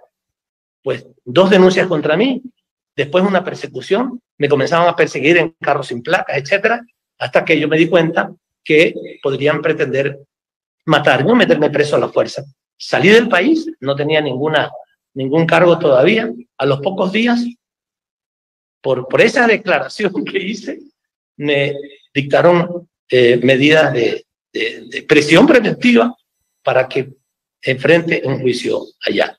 Simplemente por haber dicho que teníamos que acompañar a nuestro pueblo a su lucha en las calles. ¿Qué consiguieron con esto? Moreno y después Lazo. Mantener a los principales líderes de la revolución ciudadana fuera del país y en algún caso, como el caso de Jorge Glass, preso durante cinco años. Este es el segundo acto que les decía, la persecución, la cárcel, los juicios. El tercero es, como sabían que de todas maneras la Revolución Ciudadana tenía aire, tenía fuerza, tenía militantes, impedirnos participar políticamente. A toda costa impidieron que nuestro movimiento pudiera participar. Nosotros, yo era vicepresidente del movimiento cuando Lenín Moreno llegó al, al gobierno, él era el presidente del movimiento. Lo expulsamos de su condición de presidente. Internamente, con mayoría en nuestro movimiento, pues utilizó la función judicial para declarar inválido un acto que autónomamente, soberanamente tomamos en el interior del movimiento de expulsarlo a él porque había traicionado al movimiento de la Revolución Ciudadana, había traicionado los principios de la Revolución Ciudadana, porque se habían puesto del lado de los banqueros, de los grandes medios de comunicación, de quienes eran enemigos de nuestro pueblo. Pues nos echaron a nosotros. O sea, el, el, el juez le dio la razón al presidente, a quien habíamos expulsado al presidente Moreno, y él consiguió entonces que nos echaran del movimiento. Pero bueno, no fue suficiente con que nos echaran. Ya cuando nos dimos cuenta de que no íbamos a poder con eso, en la parte jurídica, porque tenían comprados a los jueces, además los permanentemente los estaban evaluando para ver quiénes eran correístas y los expulsaban, los sacaban, les inventaban cualquier cosa, pues nos impidieron en cuatro ocasiones formar un nuevo movimiento. Incluso nos acercábamos al Partido Socialista Ecuatoriano para ver si podíamos ir con ellos. Les cambiaban la directiva. Intentamos hacer un movimiento recogiendo firmas. Eh, inventaron una, una, una trifulca ahí entre los anteriores dirigentes de quienes habían iniciado eso. Hicimos un movimiento propio y le pusimos el movimiento alfarista por Eloy Alfaro. Y entonces dijeron que no, porque Eloy Alfaro no era socialista. Eloy Alfaro, por supuesto, eh, fue el dirigente de la Revolución Liberal en, a principios del siglo XX. Seguramente no, no podía ser socialista, era liberal, era un, digamos, un Juárez de, de aquel, del Ecuador. Pues eh, nos dijeron, nos negaron porque el nombre no les gustaba. Entonces, nunca pudimos constituir un partido político. Este, como les digo, es el tercer acto, no solamente perseguirnos, encarcelarnos, sino además no permitirnos participar. Nos inventaron un montón, tenían claro el poder del Consejo Nacional Electoral que autoriza la constitución del movimiento político. Incluso llegamos a conseguir las firmas, me acuerdo que eran como 200 mil firmas que se requerían, ya las teníamos listas. Y entonces se inventaron una, una disputa en una directiva que no existía, pero eso fue suficiente para que no pudiéramos participar. Finalmente tuvimos que casi clandestinamente, para las elecciones del año 2019, eh, meternos en un partido político que nos dio chance, nos dijo, vengan aquí, los cobijamos a ustedes. Y tu, pudimos participar, tuvimos una participación muy modesta en el año 2019 porque entramos a ese movimiento cinco días antes de que se de, inscribieran, digamos, las candidaturas, pero tuvimos, sin embargo, una, un, resultado interesante. Ganamos la prefectura, es decir, las gobernaciones, en las dos provincias en más, eh, digamos, dos de las provincias más importantes del país, en donde está la capital de la República y en Manabí. Pues, después de eso, quisieron otra vez, ya al partido que habíamos entrado, y que les fue imposible sacar, eh, digamos, eh, sacarlo de, de escena en, en el momento que entramos, porque ya ya las elecciones estaban por comenzar, era imposible que ellos hicieran un proceso para quitarnos de allí. Consiguieron que un contralor que nunca se, se posesionó, que también ilegalmente estaba funcionando, tan, tan ilegalmente y tan tramposo y bandido, que ahorita está eh, en, la cárcel porque recibió, ese sí, ese sí, recibió coimas de Odebrecht y le demostraron que efectivamente las había recibido, pues ese contralor comenzó el que dejó, ese contralor y el que lo dejó, comenzaron a perseguir al Consejo Nacional Electoral, o sea, eh, amenazaron con destituir al Consejo Nacional Electoral si permitía que ese movimiento que eh, habíamos, al que nosotros habíamos logrado entrar, que se llamaba Fuerza Compromiso Social, si permitían que siguiera funcionando, porque habían descubierto, después de 10 años, que algunas firmas de cuando se constituyó ese movimiento no eran reales. O sea, una cosa de locos. Esto es lo que, es lo que hemos vivido, queridas y queridos compañeros. Yo quería eh, ver la posibilidad de, tratar el tema de la actualidad un poco del Ecuador, pero no quiero eh, pasarme de, los tiempos que me han señalado y, quisiera tal vez dejar hasta allí el tema que tiene que ver con el lawfare, si es que acaso después hubiera alguna pregunta sobre la situación actual del país, quisieran que lo tratara, con mucho gusto de hacerlo, pero lo que quería era básicamente hacer esta explicación muy sintética de todo un proceso terrible, este, em, inhumano, eh, inconstitucional, ilegal, ilegítimo, antiético eh, del de que hemos vivido en el Ecuador. como consecuencia de esto, yo no puedo regresar al Ecuador todavía, como consecuencia de esto, el presidente Correa no puede regresar al país. El vicepresidente ya logró su prelibertad, pero todavía no puede ejercer sus derechos políticos libremente. y muchos otros compañeros también, ministros, han tenido que salir del país. Pero bueno, yo quería fundamentalmente dar esta explicación, espero que haya sido suficientemente claro y que les sirva a ustedes como, como eh, un aprendizaje de las cosas que pasan. Eh, y eh, hay que tener mucho, pero mucho cuidado con las personas que asumen responsabilidades de nuestras organizaciones políticas. Nosotros, por supuesto, cometimos tengo que decir ahora el error, aunque no fue un error realmente, porque nunca imaginamos que Moreno pudiera traicionar como traicionó al proyecto político, pero bueno, nos, nos habrá faltado este, un poco más de perspicacia, eh, investigar un poco más. algo pasó. La cosa es que este hombre nos engañó, traicionó, traicionó el proyecto e hizo retroceder a nuestro país los cuatro años de su gobierno y los dos años de, Guillermo Lazo, que sí es un neoliberal eh, hecho y confeso, además eh, representante del Opus Dei en el Ecuador, eh, y que han destrozado nuestra república. Ahora tenemos la, la esperanza, la esperanza de que en unas semanas más, el 20 de agosto, por razones políticas que no he podido ahora conversarlas, pero si quieren más adelante lo podemos conversar, el 20 de agosto habrá nuevas elecciones, elecciones anticipadas en el Ecuador, porque el presidente Lazo ha tenido que disolver la asamblea y y tiene también a su casa.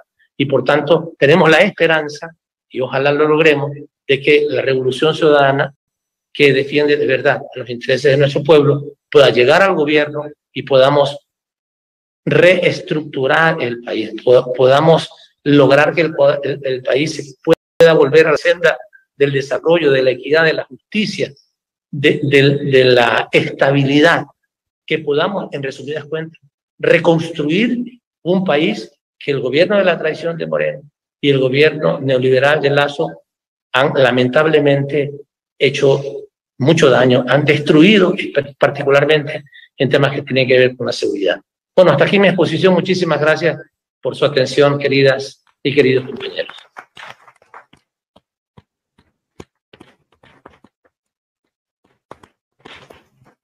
Bueno, yo quiero darles la numeralia del evento. Tenemos a 274 personas viendo en redes. Aquí presenciales somos 200 personas y hay 836 personas conectadas en Zoom. Y somos un montón los que estamos aquí. Es, es un evento importante para el tema del Perú y le vamos a ceder la palabra al doctor Guido Croxato, que es profesor de la Universidad Nacional de Lanús, que es doctor eh, eh, eh, en este, que es director del, del Instituto Latinoamericano de Criminología y Desarrollo Social y es también abogado ayudante de la defensa de Pedro Castillo. Le dejo la palabra a Guido Croxato.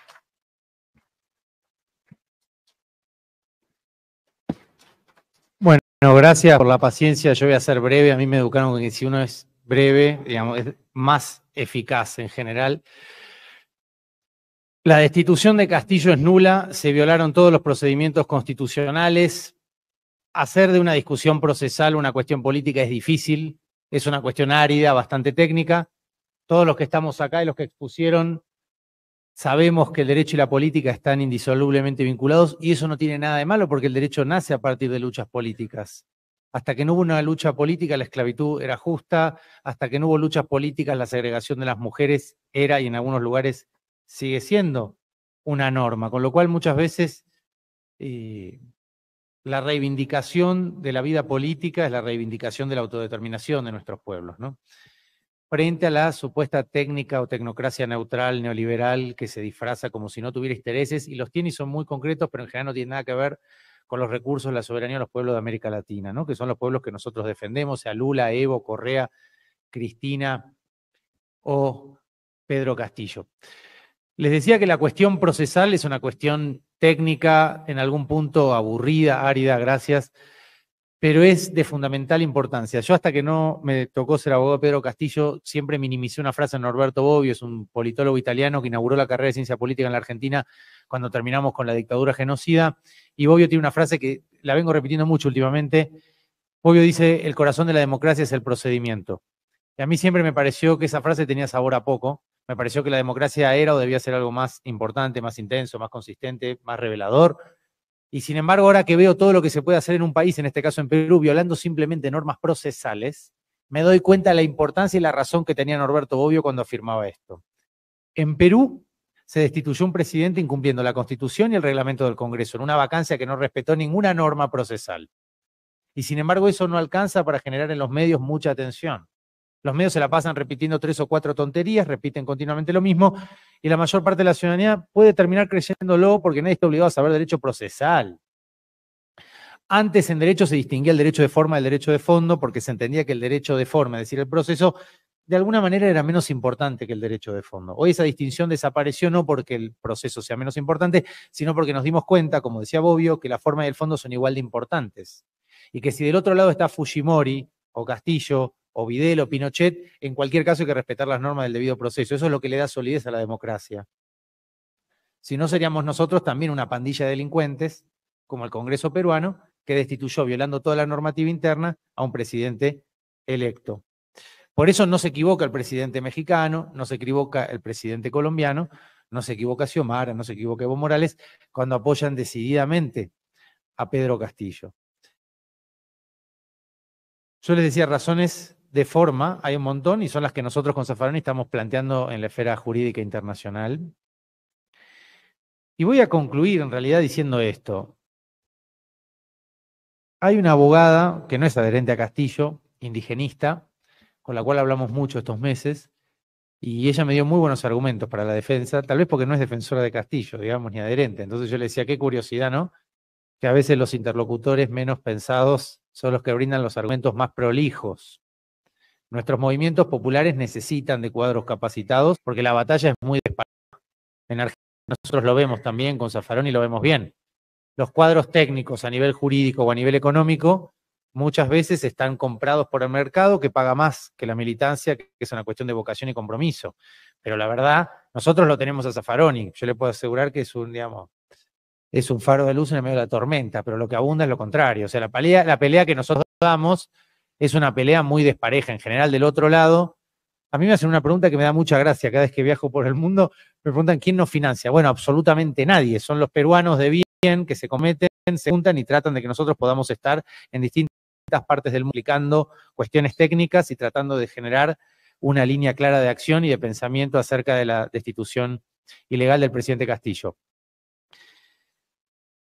Las razones de fondo ya las expuso Zaffaroni hace un momento, nosotros estamos todo el día pegados repitiendo lo mismo. Castillo, digamos, para Castillo como para Evo Morales lo normal es que estén presos, no que sean presidentes. Lo que las clases racistas de América Latina no tienen es que estas personas salgan de la sierra y tomen el poder, que sean elegidos una democracia que se convierte no ya en una democracia elitista, sino en una democracia de fondo, donde los pueblos entran en la historia y se empiezan a expresar.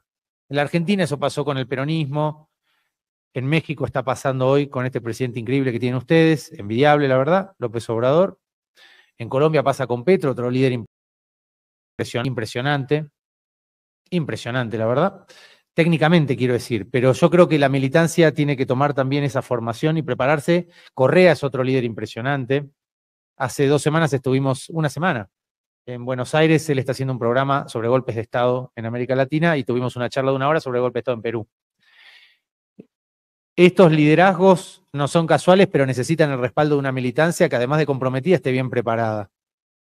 Porque del otro lado hay un montón de recursos puestos al servicio del mal, voy a decir para hablar coloquialmente, al servicio de la desigualdad, al servicio del racismo, al servicio de la extracción de los recursos de América Latina que terminan fugados en Europa. Entonces, de este lado, que para mí es el lado del bien, el lado de la soberanía, el lado del antirracismo, de la inclusión de los pueblos originarios, muchos Muchas veces el mercado no pone recursos porque no le conviene formar a la gente para defender la igualdad o la equidad o la justicia. No quieren abogados preparados para esto. Entonces dependemos mucho del el compromiso y la vocación de una persona como Zaffaroni de repente. Pero no es lo que abunda. Lo que abunda es un ejército de abogados mercenarios al mejor postor que están dispuestos a inventar cualquier causa judicial para entorpecer los procesos populares. Y esto sí se conecta con lo que decía Patiño hace un rato, y es el lofer en América Latina. Una palabra que a mí mucho no me gusta, pero el caso de Castillo es un capítulo más, como decía Zafa hace un momento, de una película que nosotros ya conocemos demasiado bien. Yo antes de conocerlo a Castillo sabía que era inocente, no hacía falta verlo, lo tenía clarísimo. De todas maneras, ya lo dijimos 20 millones de veces, bueno, según ustedes no lo escucharon, nosotros no viajamos a Perú con Zafaroni para ser abogado de Castillo, fue un accidente. Y tiene que ver con esto que hablamos del compromiso y la vocación. Viajamos con Zafaroni a Perú porque antes de la pandemia nos habían dado un doctorado como maestro y discípulo honoris causa y nos lo iban a dar. Y justo Zafa estaba, iba de Costa Rica a Perú y yo estaba en Argentina y casi me, se enojó mucho conmigo por teléfono de Buenos Aires porque yo le dije, bueno, no sé si voy a poder llegar y me insultó directamente. ¿Cómo no voy a poder llegar? ¿Me vas a dejar en el aeropuerto esperando? Bueno, la cuestión que al día siguiente me dijo, mejor no hagamos esto porque la pandemia, qué sé yo. Y se demoró tres años ese, la entrega de ese documento. Y entonces lo fuimos a recibir ahora en enero. Y de hecho estábamos contentos de que íbamos a ir a recibir este reconocimiento de la Universidad de Cusco un lugar muy representativo, ¿no? Para repensar el derecho latinoamericano.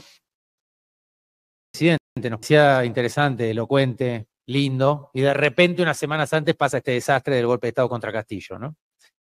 Fuimos igual, no suspendimos el viaje, y luego fuimos a Arequipa por la altura, Zafa no quiso ir a Cusco, y en Arequipa quedamos varados porque los manifestantes habían roto no sé qué antena en el aeropuerto y suspendieron las operaciones del aeropuerto 10 días. En esos 10 días en el aeropuerto, con el buen humor de Zafa, que lo tiene bastante marcado, pero ya después de unos días estaba un poco inquieto, digamos.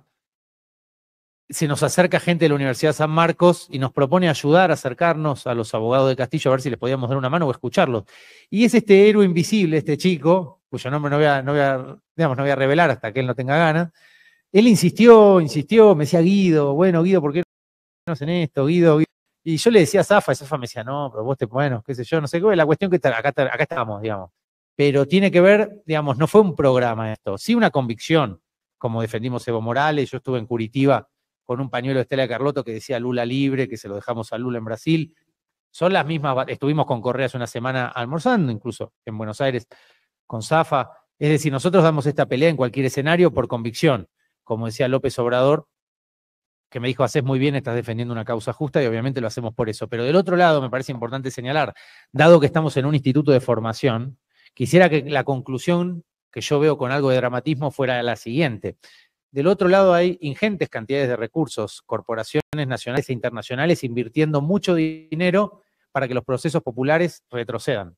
Y del otro lado estamos nosotros en nuestras trincheras resistiendo. Y muchas veces somos tres o cuatro gatos locos que nos vemos siempre las mismas caras en todos los países del mundo. Yo acabo de ver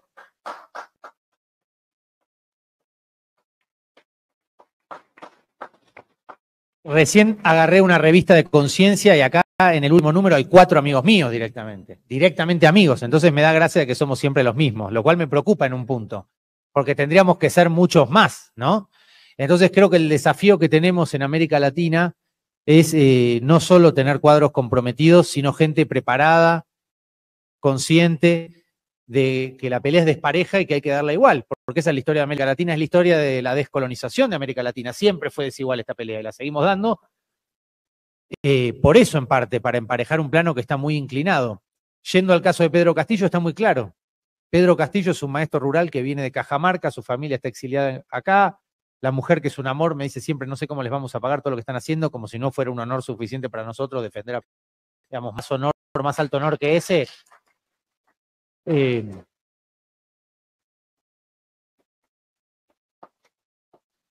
eso fue lo que le dije a Lili en el viaje anterior de ver a López Obrador, se lo conté a López Obrador y me dijo, es que haces muy bien, estás defendiendo una causa justa y uno cuando la defiende por principio no está pensando lo que va, lo defendemos porque a Castillo hay que defenderlo y se acabó. Nosotros tenemos la convicción. Ahora bien, tenemos conciencia de todos los intereses que hay del otro lado. Cuando Castillo gana la elección, se utilizaron para impugnar las votaciones indígenas los mismos argumentos que después utilizaron para impugnar su gobierno, que es el racismo de Fujimori. Había estudios en Lima que tenían un montón de dinero para impugnar todos los votos de los indios que habían votado a Castillo diciendo que eran indios y no sabían votar. Después dijeron que Castillo no sabía gobernar. A mí me alegra y voy a volver sobre esto porque incluso parte de la izquierda comete este error. Esto lo hablé con el presidente Petro no sé si lo persuadí, pero mi posición es la siguiente. A mí me gusta que digan que Castillo no sabía gobernar, porque en general en nuestro país es, saber gobernar es un desastre. Los que entre comillas saben gobernar son los que hacen pelota a nuestras poblaciones con sus recetas liberales, que supuestamente vienen a resolver los problemas de la economía y lo único que hacen es agravar una y otra vez y empobrecer una y otra vez y endeudar una y otra vez a nuestros países. Argentina es un perfecto ejemplo. El presidente anterior dijo que venía con el mejor gobierno de los últimos 50 años, que iba a generar pobreza cero, y lo único que dejó fue un tendel de pobreza y una deuda impagable que Argentina al día de hoy no puede resolver. Y además hay una causa judicial y nadie llama como decíamos hoy en una entrevista en la jornada, nadie llama a declarar a estos imputados porque son sectores con poder y tienen decenas de estudios jurídicos multimillonarios. Y Castillo no tiene a nosotros trabajando de honor, ¿me entienden la diferencia? Le estamos poniendo la Obviamente yo creo que el compromiso termina siendo mucho más valioso y técnicamente más riguroso que un estudio que defiende algo porque le están pagando simplemente. Evidentemente no hay el mismo compromiso en esa causa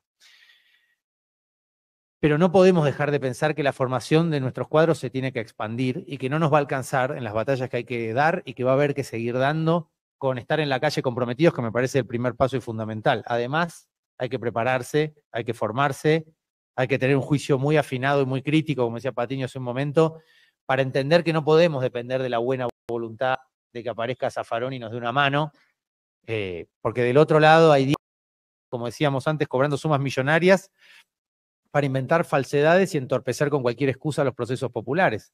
Es verdad lo que decía Patiño. Yo cuando lo veía Correa levantando el mismo los platos de la mesa, uno se da cuenta qué calidad de persona es. O yo cuando Castillo me ofrecía agua de un bidón y se disculpaba en la prisión, uno se da cuenta de qué persona se está lidiando.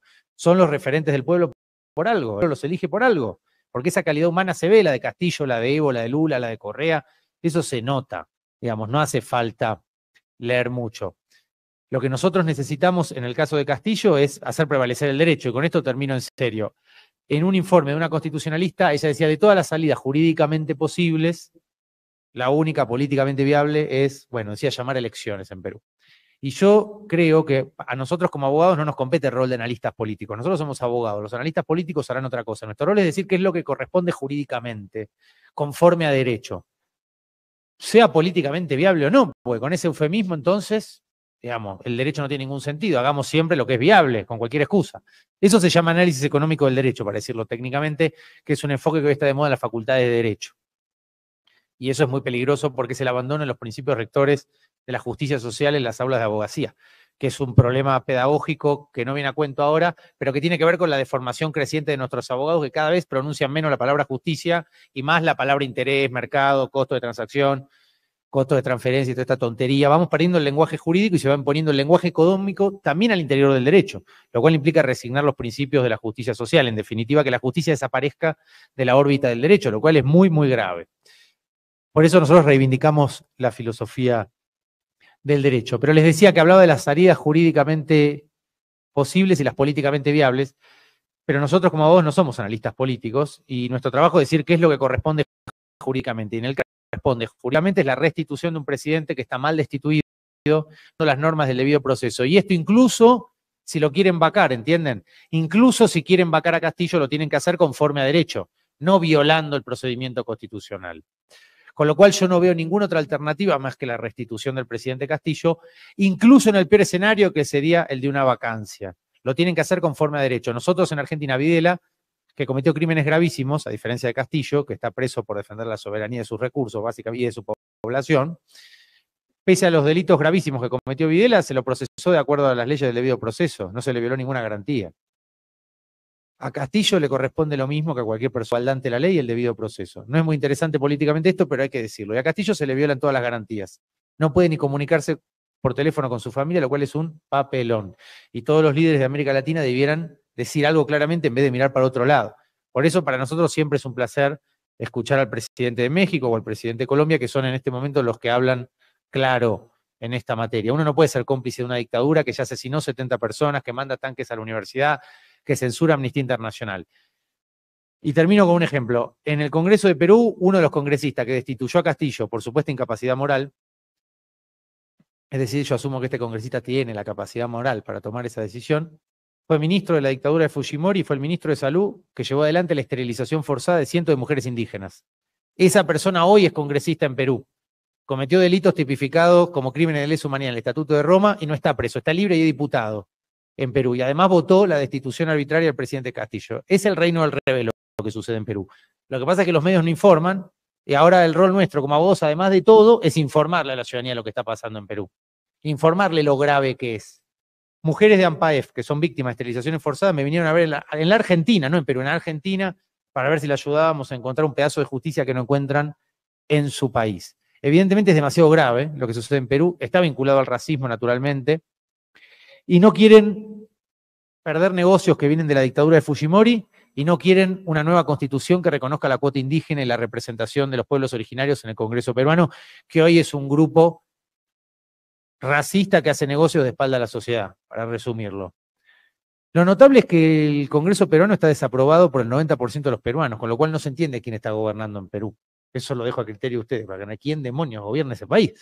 Si hay un 92% de desaprobación y la Cancillería le acaba de pedir 3 millones de dólares al Ministerio de Economía peruano para mejorar la imagen de Boluarte en el exterior, ¿no? Pero te podríamos decir que ni con 3 ni con 10 millones va a tapar los 70 asesinatos, porque el pueblo peruano no, no va a olvidar lo que están haciendo con él y creo que va a volver a reivindicar como en Brasil o como en Bolivia su soberanía y sus derechos y yo soy optimista en ese sentido porque creo que el pueblo no se equivoca y tiene bien claro, sepa derecho o no, que acá se está cometiendo una injusticia muy grave contra Castillo, contra su familia y sobre todo contra el pueblo que se ve representado en la figura de Castillo, que es el que está protestando en las calles. ¿no? Bueno, gracias.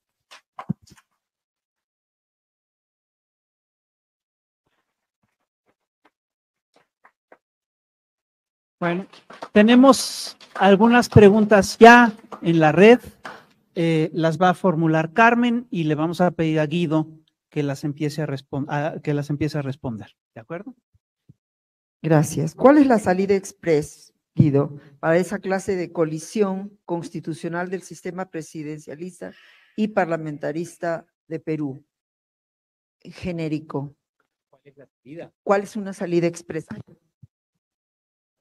Bueno, Zaffaroni siempre remarca que la constitución apócrifa y neoliberal además hace impracticable el gobierno político en Perú y genera inestabilidad más allá de quien esté gobernando.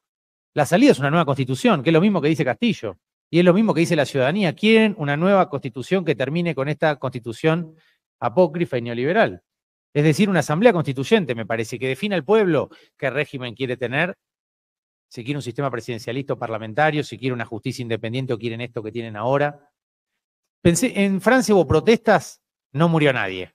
En Perú hubo protestas más pacíficas que en Francia, 70 personas asesinadas. Entonces la conclusión es que la vida en Perú vale menos que en Francia, punto uno, y además que la vida en Perú también se divide dependiendo de qué parte de Perú seas. Si vos sos de la sierra, un cholo, un indio, tu vida vale menos. Pero si hubieran muerto 70 personas en Miraflores, este gobierno hubiera volado por el aire.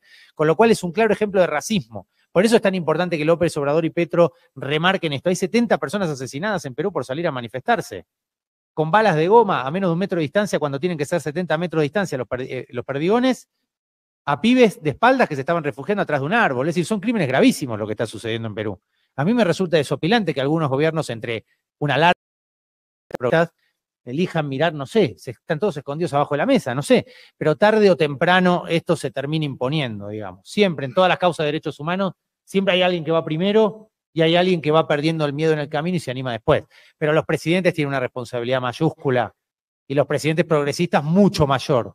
Con lo cual un progresismo que mira para otro lado, privilegiando negocios por sobre los derechos humanos en Perú, me parece que está cometiendo un error grave.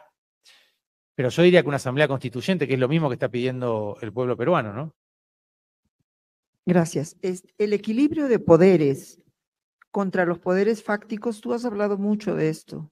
Guido. ¿Cómo hacemos para, para revertir esto?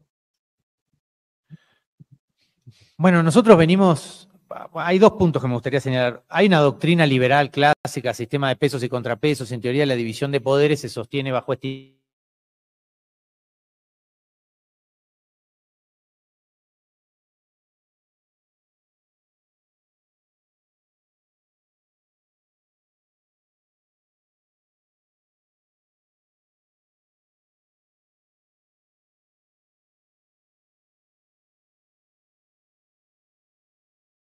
idea de que los pesos se controlan y contra sí mismo. El Poder Judicial toma de cinco poderes de los tres poderes del Estado que no tenía origen democrático, pero su objetivo era preservar los derechos de las minorías frente a las mayorías que dominan en los otros dos poderes que tienen elección popular directa. Yo creo que esto tuvo sentido hace 200 años, pero hoy el Poder Judicial está utilizando esta objeción contramayoritaria no para preservar a las minorías, sino para entorpecer cualquier avance social de las mayorías. Es decir, han desvirtuado este origen antidemocrático que tuvo un sentido en el liberalismo clásico hace 200 años y hoy en el siglo XXI ya está desdibujado y termina fungiendo como ariete antidemocrático, antipopular. La ley de medios en Argentina es un buen ejemplo, pero me imagino que ustedes en México tienen otros. Esto de la objeción contramayoritaria, que tuvo un sentido en el liberalismo conservador hace 200 años, hoy ya no funciona y termina siendo el escudo del Poder Judicial para frenar cualquier avance social de las mayorías.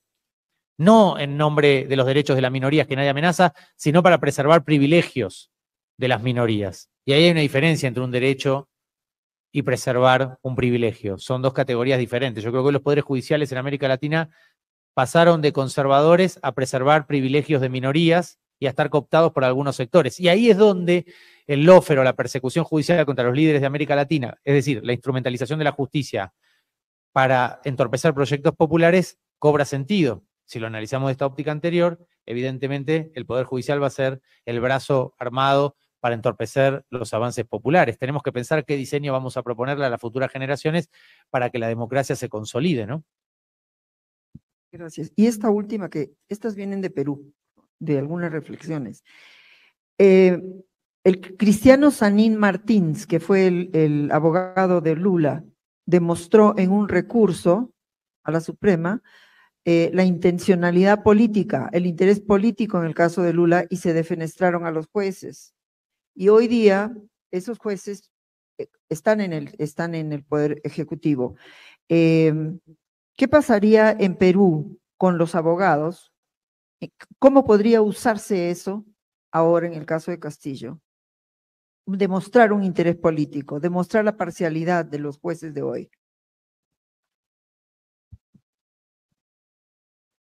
Creo que al violar las normas que tienen que hacer valer, ya hay falta de imparcialidad de parte de los jueces. Se violaron normas del debido proceso, con lo cual los jueces que terminan validando esto son responsables políticos también, son pasibles de juicio político.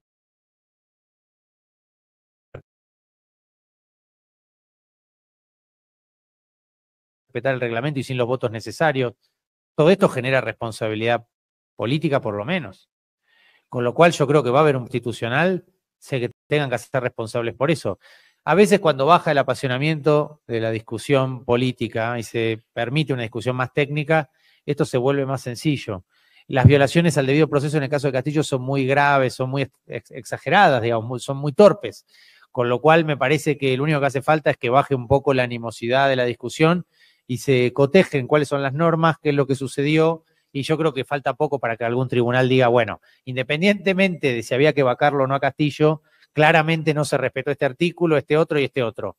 Con lo cual, independientemente de si había que vacarlo, se lo hizo de manera inconstitucional, con lo cual la vacancia es nula, como todo acto inconstitucional, con lo cual en todo caso habría que restituirlo, volver las cosas al estado anterior y juzgarlo nuevamente, pero con un juicio justo. Yo creo que esa es la única salida legal. No sé cuál es la que van a encontrar, pero a mí no se me ocurre ninguna otra que sea constitucional.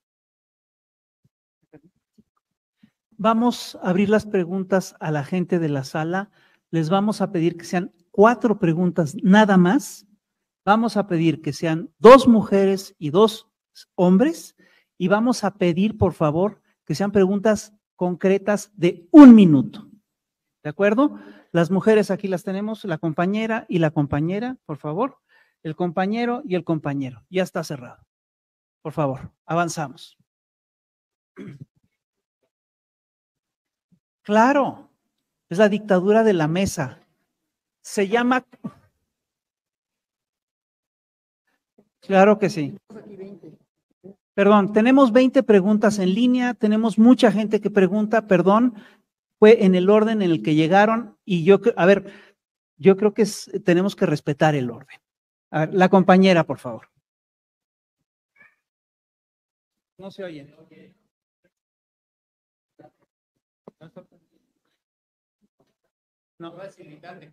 Bueno, parece que ya. Bueno, buenas tardes. Eh, bueno, primero les agradezco que estén con nosotros eh, comentando este tema que es tan importante, no nada más para Perú, sino para toda Latinoamérica. Y bueno, para ser concreta con mi pregunta, este, quisiera eh, saber si han tenido algún avance en lo que respecta a la Comisión Interamericana de Derechos Humanos, si ha dictado alguna medida cautelar de las que le fueron solicitadas, porque definitivamente la violación de derechos humanos del presidente este, Pedro, pues es evidente, ¿no? Y no nada más se violan artículos internos de Perú, sino tratados internacionales. Yo le respondo rápido. Eh, todavía no resolvió la medida cautelar el sistema interamericano que nosotros le propusimos y ahora vamos a presentar el caso de fondo en conexidad con la medida cautelar. Pero yo soy optimista, porque si no van a naufragar, como dice López Obrador, las instituciones mismas. Si no dan ninguna respuesta, la ONU, la OEA, la pregunta que nos vamos a empezar a hacer y se van a hacer los pueblos es ¿para qué están estas instituciones si nunca le dan respuestas a la gente? ¿no? Buenas tardes. Pues dándole las gracias primero al maestro Zaffaroni y a usted por la labor que están haciendo. Y mi pregunta pues va a ser bien concreta. ¿Usted cree que en los tiempos procesales lleguemos al 2026 cuando ya hayan entregado los recursos mineros y petroleros y entonces ya le restituyan su libertad al presidente?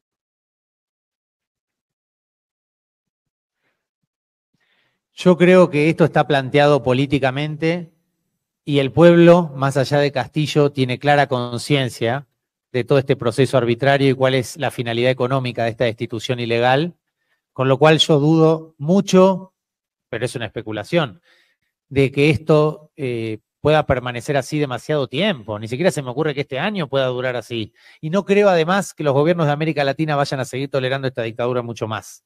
Por ejemplo, ya ayer hubo cambios, hubo una cumbre en Brasil anteayer y hubo dos presidentes que tomaron una posición distinta, que no son López Obrador y Petro, que ya la vienen tomando hace tiempo, y que la tomaron ahí y que nadie diría que son dos presidentes izquierdistas. Eso es algo nuevo, son pequeñeces tal vez, pero si uno es atento se da cuenta que algo está cambiando si ya hasta los presidentes liberales de la región le niegan el saludo a un delegado del gobierno peruano, ¿no?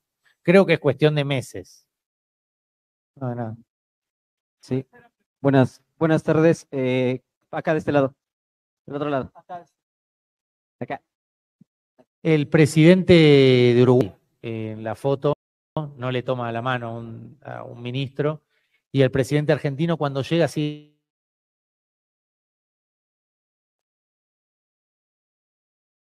esquivando al ministro peruano directamente. Directamente.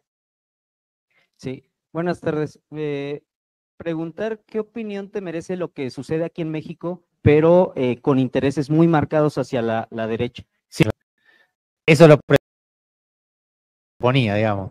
¿Cuándo llega el Corte Suprema politizada izquierda? Jamás se vio en la historia, en la historia de la humanidad.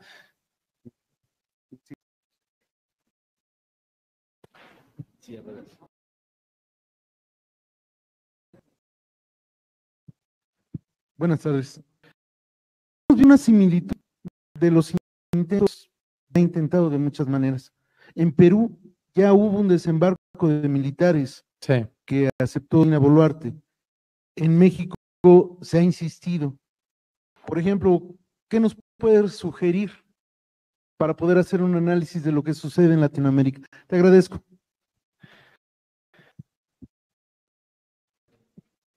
Bueno, respecto la soberanía de nuestros países, está claro que los países que tienen la soberanía y la autodeterminación enfrentan la amenaza, como vos mencionabas hace un caso, eh, el caso de Perú, en este momento 700 policías fueron de Estados Unidos a los policías peruanos, y esto tiene que ver probablemente con la toma anunciada o las manifestaciones anunciadas el mes próximo en Perú, donde esperemos que no haya que lamentar ninguna muerte. Eso sería lo primero que hay que decir, ¿no? Pero también que dejen al pueblo manifestarse libremente, ¿no? No le pueden censurar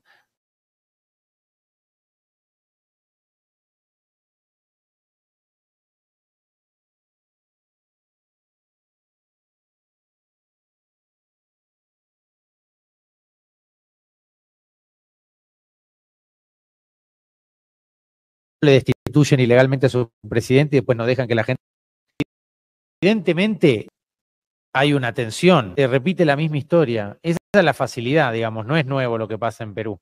Ya sabemos cuál es el mecanismo, es siempre igual. Con lo cual, si uno lo piensa a futuro, creo que la pregunta más interesante sería cómo prepararnos para el próximo capítulo y dónde será.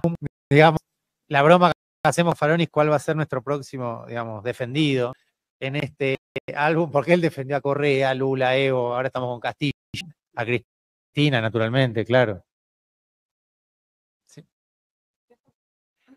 Bueno, y en ese sentido me parece que tenemos que que esto es un accidente, que ya no se hace con desembarcos militares como antes. Hoy se hace de esta manera que estamos diciendo.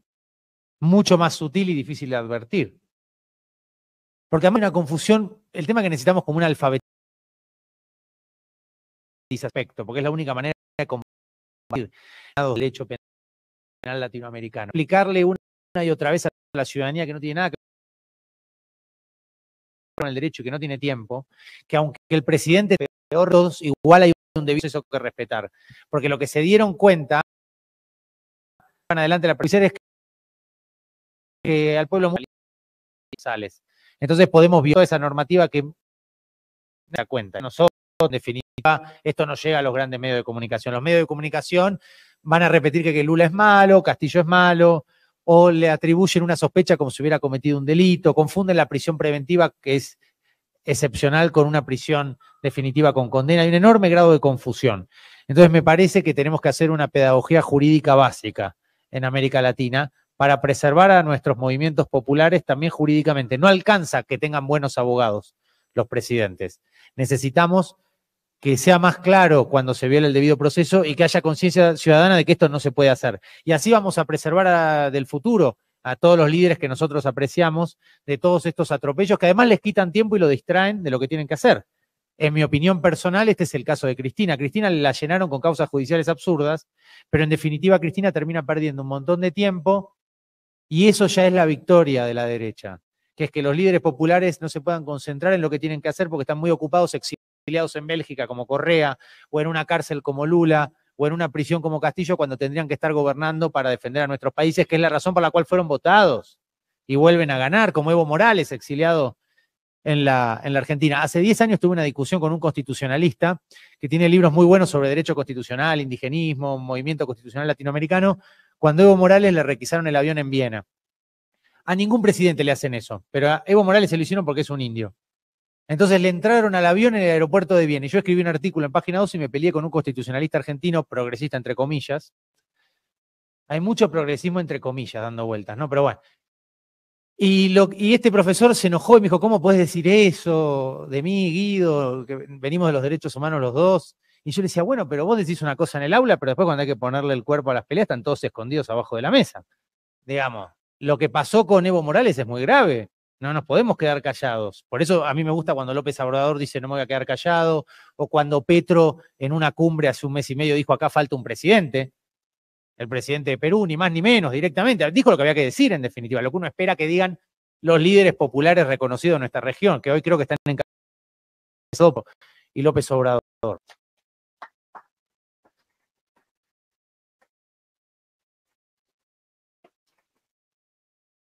Pero evidentemente Ah, no es solo, hay un desgaste sobre estos liderazgos populares. Ellos es inocente. Si vos la tenés 10 años con todas estas causas de porquería inventadas, cuando Macri no lo llamás a declarar jamás, cuando cometieron delitos financieros gravísimos que hicieron pelota a la Argentina, están todos jugando al golf en el country, ahí ya estás haciendo una batalla política en los tribunales. En vez de concentrarse en cómo consolidar un movimiento de reivindicaciones sociales, a defenderse en los tribunales. Y es lo mismo que le pasa a Correa, que le pasó a Lula, y que ahora le pasa a Castillo. A mí me encantaría que Castillo estuviera donde tiene que estar gobernando a favor del pueblo. Viendo cómo combate la desinformación social del Poder Judicial de Perú. Pero tenemos que generar conciencia en América Latina, porque si no, además va a seguir pasando. Encontrar en otro país diciendo, bueno, a ver, ¿a qué presar otra vez? Porque en Argentina más este offer fue de la mano de la derogación de una ley muy importante, que fue la ley de medios, que iba contra la concentración mediática, que fue la ley más debatida de la historia argentina. Es decir, que la persecución judicial y la concentración de medios en Argentina fueron de la mano. Se tomaron al mismo tiempo. Y esto lo tenemos que, le tenemos que explicar esto a la ciudadanía y a las nuevas generaciones. No queda otra de esto que explicarlo. Hoy la batalla se da de esta manera, entonces tenemos que explicarle a la ciudadanía lo que es el debido proceso, que no se puede destituir un presidente de cualquier manera. Porque la derecha ya se dio cuenta que manipulando las reglas del debido proceso puede mucho daño, y lo está haciendo. Exiliados con 20 algunos arbitrariamente presos, como Pedro Castillo, no tener luz sobre este fenómeno. Porque si hicieran un presidente de derecha, yo te aseguro que eso se manipula los jueces adictos. Un fiscal, yo no puedo creer, yo me río para no llorar, porque la verdad que es lamentable. Un día se va a escribir esto. Fiscales que investiga por no sé cuál de estos delitos supuestos inventados, fue a jugar al fútbol a una quinta del expresidente Macri. Si fuera al revés, sería un escándalo en la Argentina. Si aparece un fiscal investigando a Macri, que saldría ¿entienden? La procesaron por los papeles de un auto y salió en televisión disfrazado con un casco, en un acto de exhibicionismo antidemocrático. La, la derecha no la, la democracia. Funciona y se eligen Correa, Evo Morales o Castillo, o sea, no lo aceptan. Y ahora encontraron a través de la beta judicial la manera de entorpecer la vida democrática. Entonces nosotros cuando combatimos el lofer lo que estamos haciendo es defender la democracia. Otra vez, como cuando terminamos con la dictadura de Pinochet o la dictadura genocida en Argentina, es defender la democracia en definitiva, defender los liderazgos populares. Bueno, gracias. A ver, compañeros, les quiero plantear lo siguiente. Eh, vamos a abrir dos preguntas más. Me dice Carmen que hay un reportero que viene del Perú, le, ya le dimos el micrófono para que haga la pregunta y le pedimos a una mujer más que levante la mano para que haga una última. La compañera ya está cerrado. ¿De acuerdo? Y pasamos al otro. Gracias, muy amable. Bueno, eh, yo me enteré del Perú que iba a estar aquí en esta conferencia el doctor Zafaroni, a quien le guardo un gran aprecio, un gran respeto. Soy abogado y también al doctor Guido, porque sencillamente están levantando banderas de justicia social. Coincido plenamente como abogado de que está violando el debido proceso y todas las garantías constitucionales, no solamente nacionales, sino supranacionales. O sea, no solamente la Constitución, el papel mojado en tinta que tenemos del año 1993, por producto del fraude, del Fujimontesinismo,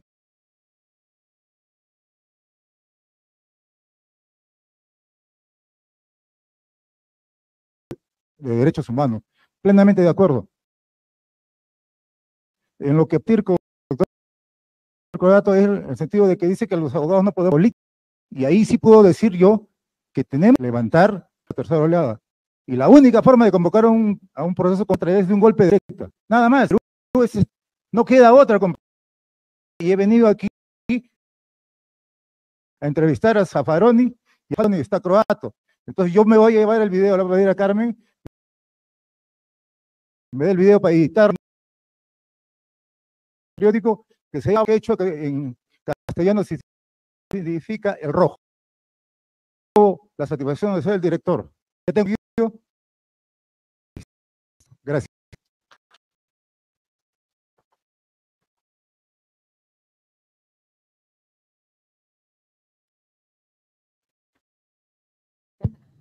Muchas gracias, buenas tardes.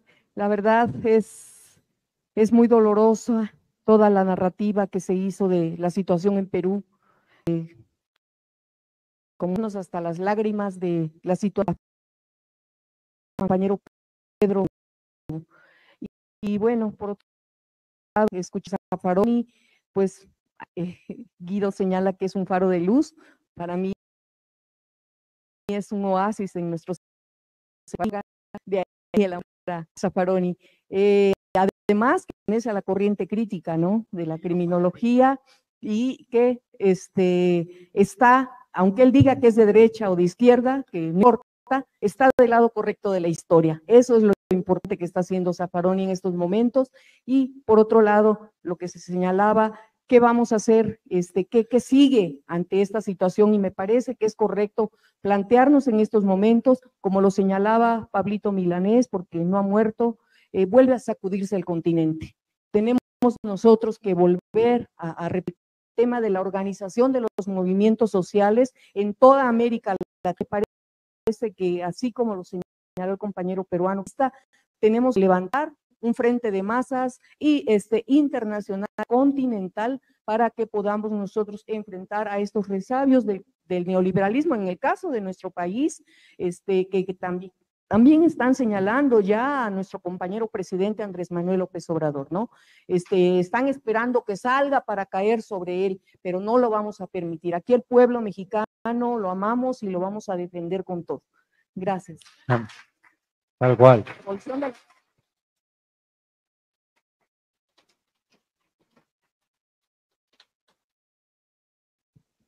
Zaffaroni nos mata si nos escucha hablando así, se mataría de risa. Mira, basta, Guido. Una vez estábamos en Perú y, Felipe Villavicencio, un amigo penalista peruano que falleció, dijo, hace cinco o seis años, pues, dirijo a Honorem un instituto de, criminología ahí en Lima. Y Felipe Villavicencio dice, acá está el maestro Zaffaroni que formó como a Guido a generaciones y generaciones y generaciones y se enojó. Se me dijo, tampoco tantas generaciones. Pero sí, es un gran ser humano, además de un gran penalista, y creo que eso es lo que hablamos antes, ¿no? Es la calidad humana de nuestros referentes, sean jurídicos o políticos, como en el caso de López Obrador. Eso es lo que marca la diferencia con los movimientos populares que están comprometidos, sencillamente.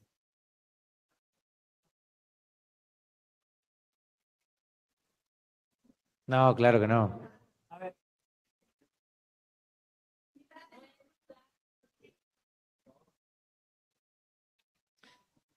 Bueno, creo que no. Sí, salvo que tengan alguna otra. Yo comparto con lo que decía el compañero abogado, es en definitiva son los pueblos los que reivindican lo que otros poderes invisibles que le dan la espalda le quieren sacar. Pasó en Bolivia, pasó en Brasil y yo creo que va a pasar lo mismo en Perú con Pedro Castillo y en Ecuador con Correa, no tengo ninguna duda. Es una cuestión de tiempo, ¿no? Los pueblos, como dice Zaffaroni, no se suicidan. A veces los medios los pueden confundir, sobre todo cuando están concentrados, pero en Perú hay una clara conciencia. Como ella decía que Zaffaroni está al lado correcto de la historia, Castillo también está del lado correcto de la historia. Yo quisiera hacer una reflexión última, eh, si, si es que no hay más preguntas, y es la siguiente, miren. Bueno, termino y paso. En el siglo XX la mayoría de los golpes de Estado fueron golpes militares. Son intervenciones brutales, directas, más de huella por tiempo, en fin. En el siglo XXI, lo que estamos viviendo es un proceso distinto. Lo que estamos viviendo es un tipo de guerra informática o informativa permanente. La gran diferencia entre los golpes de esta, entre los golpes militares del siglo XX y los golpes sin fusiles del siglo XXI es que estos operativos son operativos permanentes. Si ustedes se fijan, desde el primer día que llegó López Obrador a la presidencia, sí, han echado a andar estrategias de guerra mediática y estrategias de lawfare, estrategias de guerra jurídica. El tema de fondo es cómo chingados nos defendemos de, esta, de estas campañas. La única estrategia que tenemos, una, una de las estrategias fundamentales, es la formación permanente. ¿Sí? Es una guerra de propaganda, nosotros solo podemos contrarrestar esta guerra de propaganda y publicidad, ¿sí? Con formación política. Por eso es tan importante este proceso que estamos llevando acá. Por eso es tan importante hablar de historia. Por eso es tan importante que para entender el, para entender el proceso de México es fundamental revisar el caso de Perú y por supuesto que el caso del Ecuador y el caso de Brasil y el caso de Argentina, etcétera. Entonces, pasamos a una última pregunta, la contesta Guido y nos vamos.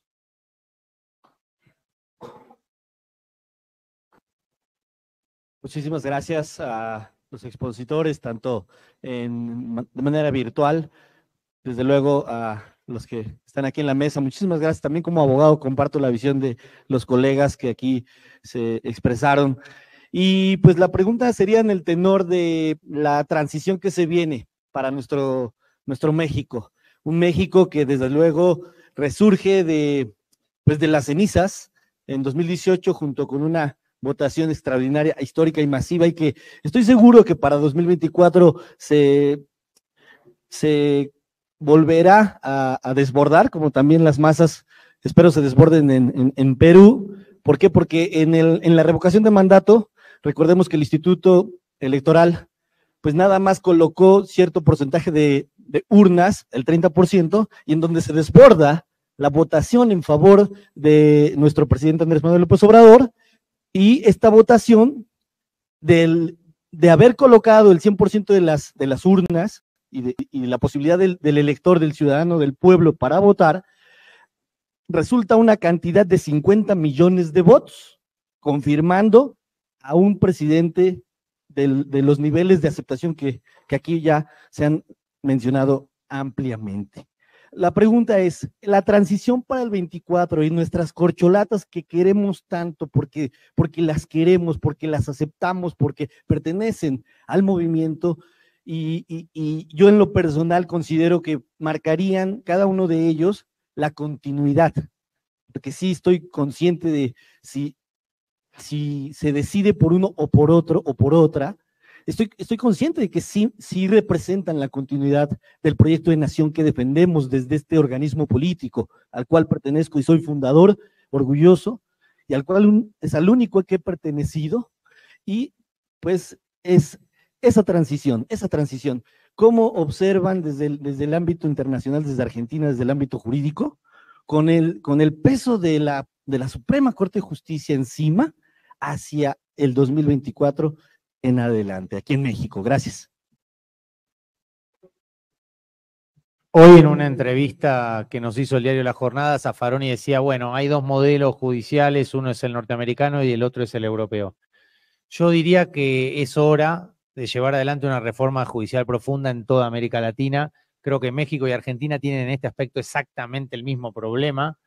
Y no me refiero solo a la persecución judicial, las cárceles que son el hacinamiento masivo de los pibes pobres de América Latina son una muestra de que no hay ninguna igualdad ante la ley si vos sos pobre vas a ir preso por cualquier motivo, hagas lo que hagas, y si sos rico, aunque cometas delitos gravísimos, podés seguir libre en tu casa jugando al golf. Bueno, si ya nos damos cuenta de esto y el Poder Judicial no hace nada y mira siempre por otro lado, evidentemente hay un problema grave con el Poder Judicial. Yo voy a cada país y en todos lados me encuentro con el mismo problema. Evidentemente, López Obrador hace bien en plantear esta discusión. Es la misma que se quiso plantear en la Argentina con mayor o menor éxito, porque detrás de los jueces hay un poder concentrado que resguarda privilegios bajo la excusa de la objeción contramayoritaria, como hablábamos antes más en términos académicos. Yo creo que hay que pensar una reforma judicial en serio en toda América Latina. Creo que hay que poner a mujeres pobres a administrar justicia en vez de a jueces millonarios que están encerrados en su palacio y le dan la espalda a la sociedad. Que hay que generar otra conciencia y otra sensibilidad en los tribunales que hoy no tenemos. Creo que tenemos una ardua tarea por delante en términos de reforma judicial. Y me parece que López Obrador hace muy bien en plantear por lo menos esta discusión, porque me parece una discusión fundamental para el porvenir de la democracia y también para que el Poder Judicial no entorpezca procesos sociales de reivindicación de derechos, ¿no? En definitiva. Me parece que es fundamental. Me parece que ustedes tienen la suerte de tener un presidente que plantea bien y claramente las discusiones, ¿no? Hay otros presidentes que son víctimas de esta arbitrariedad, como es el caso de Castillo no hay ninguna igualdad ante la ley. Y esto lo pagan tanto las personas pobres que están presas como los líderes progresistas, porque yo no veo ningún líder no progresista padeciendo como padecen Correa, Castillo, Lula, Lugo, Cristina, Celaya. Hay que preguntar, Evo Morales, hay que preguntarse qué pasa con estos poderes judiciales que persiguen siempre en la misma dirección, ¿no? Y hay otros delitos gravísimos que nadie está juzgando y son los que generan miseria planificada en nuestros países, la criminalidad económica y financiera global. Parece que no es delito y en realidad es la responsable de que los pibes están revolviendo la basura para vivir, ¿no? Pero creo que la discusión pasa por pensar una reforma judicial en América Latina. Creo que es la agenda del progresismo que viene, claramente.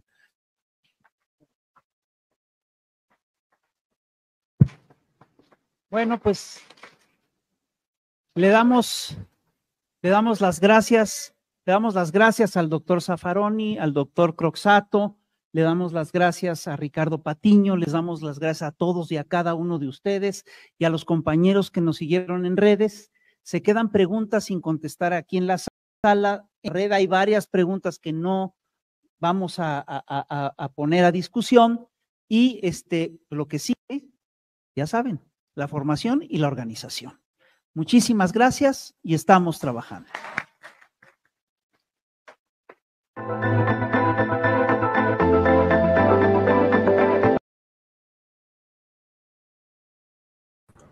Bien, hermanos, hemos cumplido con ustedes, con todo el esfuerzo necesario. Se ha coordinado incluso. Un gran saludo a la compañera que estaba de moderadora, que, con la cual hemos tenido también contacto.